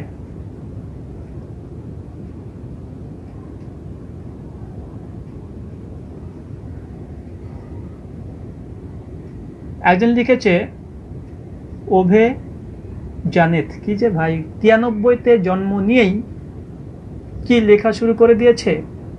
জি ভাই, ইমাম মালিক, মত্তা মালিকের লেখক, তিনি তিয়ানব্বই হিসেবে জন্মগ্রহণ করেছে আমি এটার উত্তর আগে দিয়েছি। ধরে নিলাম তিনি তার বয়স যখন পঁচিশ বা তিরিশ, সেই সময়তে তিনি লেখা শুরু করেছে। তিরিশ বছরের ধরুন। তো সাবিদের মৃত্যু সন সমস্ত সাবিদের পিরিয়ড ছিল কত হিজড়িতে? আশি হিজড়ি পর্যন্ত। ইমাম মালিক দেখাচ্ছে এই গ্রন্থটা লিখছে তিনি একশো দশ হিজড়িতে। তো ভাই আশি থেকে একশো দশ, তো তিরিশ বছরই তো হলো। তো ইমাম মালিক মাত্র মাত্র একজনের কাছ থেকে শুনেছে, একজন তাবের কাছ থেকে হতে পারে আতাবি নাবির রবা। তিনি মৃত্যুবরণ করেন একশো চোদ্দ হিজড়িতে। তিনি তো তাবেই, আতাবি নাবির রবা। ইমাম মালিকের উস্তাদকে আতাবি নাবির রবা, আতাবি নাবির রবা একশো চোদ্দ হিজড়িতে তিনি মৃত্যুবরণ করে। মত্তা মালিকের লেখক তিরানব্বই হিজড়িতে তিনি জন্মগ্রহণ করে। তো আতাবি নাবির রবা স্বয়ং সাহাবারদি আল্লাহ তাদের সঙ্গে তিনি দেখেছেন। অনেক বর্ণনা আছে, তিনি আশি হাজার সাহাবিকে দেখেছেন। অনেক বর্ণনা আছে, তিনি আশি হাজার সাহাবিকে দেখেছেন। তো ইমাম মালিক আতাবিন নাবির রবার কাছ থেকে শুনছে একটা হাদিস। ইমাম মালিকের উস্তাদ আতাবি নাবি রবা তো ভাই আতাবিন নাবি রবা মাত্র একজন, একজনের চলেছে আল্লাহ রসুল পর্যন্ত। আতাবিন নাবি রবা তাবেই, আর তাবি কাকে বলে যে সাহাবিকে দেখেছে, সাহাবির কাছ হাদিস নিয়েছে, তো তাবি বলছে যে আবুরারা কাছ থেকে আমি এই হাদিস শুনেছি যে আল্লাহ রসুলের কথা বলেছে। তো ভাই, মাত্র একজনের মধ্যেই মত্তা মালিক চলে আসছে। সমস্যা কোথায়? যাই হোক হুম, এটাই বুঝলেই আপনাদের সমস্ত ক্লিয়ার হয়ে যাবে। কনফিউশন যত দূর আছে, এটা ক্লিয়ার হয়ে যাবে এটাই। যে সাহাবি কাকে বলে তাবি কাকে বলে। সাহাবি হচ্ছে তিনি যিনি আল্লাহ রসুলকে দেখেছেন। তাবি হচ্ছে তিনি যেটি সাহাবি থেকে দেখেছেন। তো ইমাম মালিক মাত্র একজন তাবির কাছ থেকেই আল্লাহ রসুল পর্যন্ত হাদিস পেয়ে যাচ্ছেন।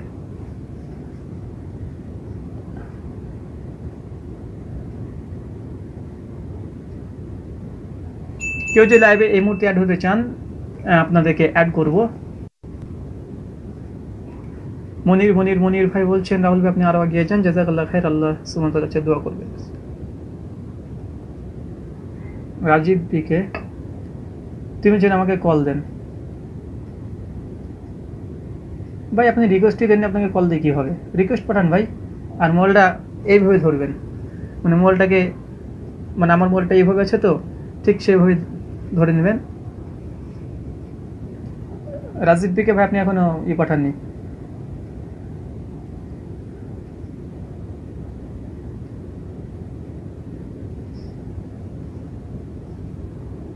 আচ্ছা এ বিষয়ে কোনো নাস্তিক যদি থাকে, আপনারা সরাসরি আপনার লাইনে আসতে পারেন। যে হাদিস সংকলন নিয়ে আপনাদের যদি কোনো অভিযোগ থাকে, আপনারা সেই অভিযোগগুলো করতে পারেন। সরাসরি আপনার কাছে আলোচনা করতে চাইছি। জি।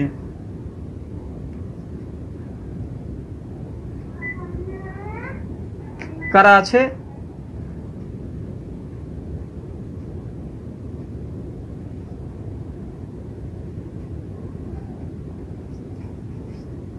আবদুল্লাহ শেখ বলছে, বাংলাতে ইমাম বুখারি বই আছে? জি ভাই, বাংলাতে ইমাম বুখারি বই আছে। হ্যাঁ আচ্ছা আপনাদের দুটো বই বলব।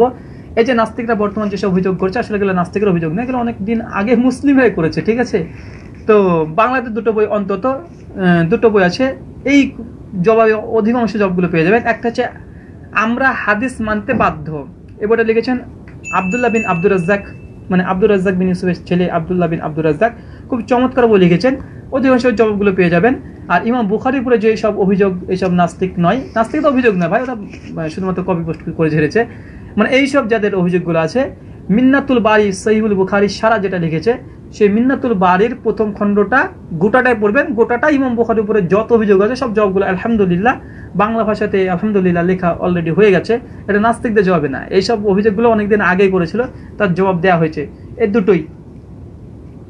মিন্নাতুল বাড়িটা পড়বেন। ইমাম বুখারির উপরে যেসব অভিযোগ তারা করছে, ইমাম বুখারিতে এই হাদিস আছে, ওই হাদিস আছে, এটা বিরোধী এটা বিরোধী, এই যত অভিযোগ আছে ইমাম বুখারির উপরে, সব মিন্নাতুল বাড়িতে আলহামদুলিল্লাহ পেয়ে যাবেন। আর আমরা হাদিস মানতে বাধ্য এই বইটা পড়বেন।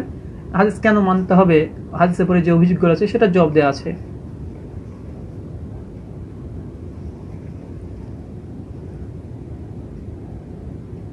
আচ্ছা আপনারা অনেকে বলছেন আপনারা অ্যাড দেওয়ার কানেকশন মানে পাচ্ছেন না, কেন পাচ্ছেন না বলতে পারছি না এভাবে তাই অনেকদিন অ্যাড করা হয়েছে। ঠিক আছে, যাই হোক, আমরা এখন এখান থেকে বিদায় নিব। আপনারা অনেকক্ষণ সঙ্গে ছিলেন, আপনারা অনেকেই এখান থেকে প্রথম থেকে আছেন, আপনারা সরেননি আলহামদুলিল্লাহ। অনেকেই একদম প্রথম থেকেই আপনারা লাইভে ছিলেন।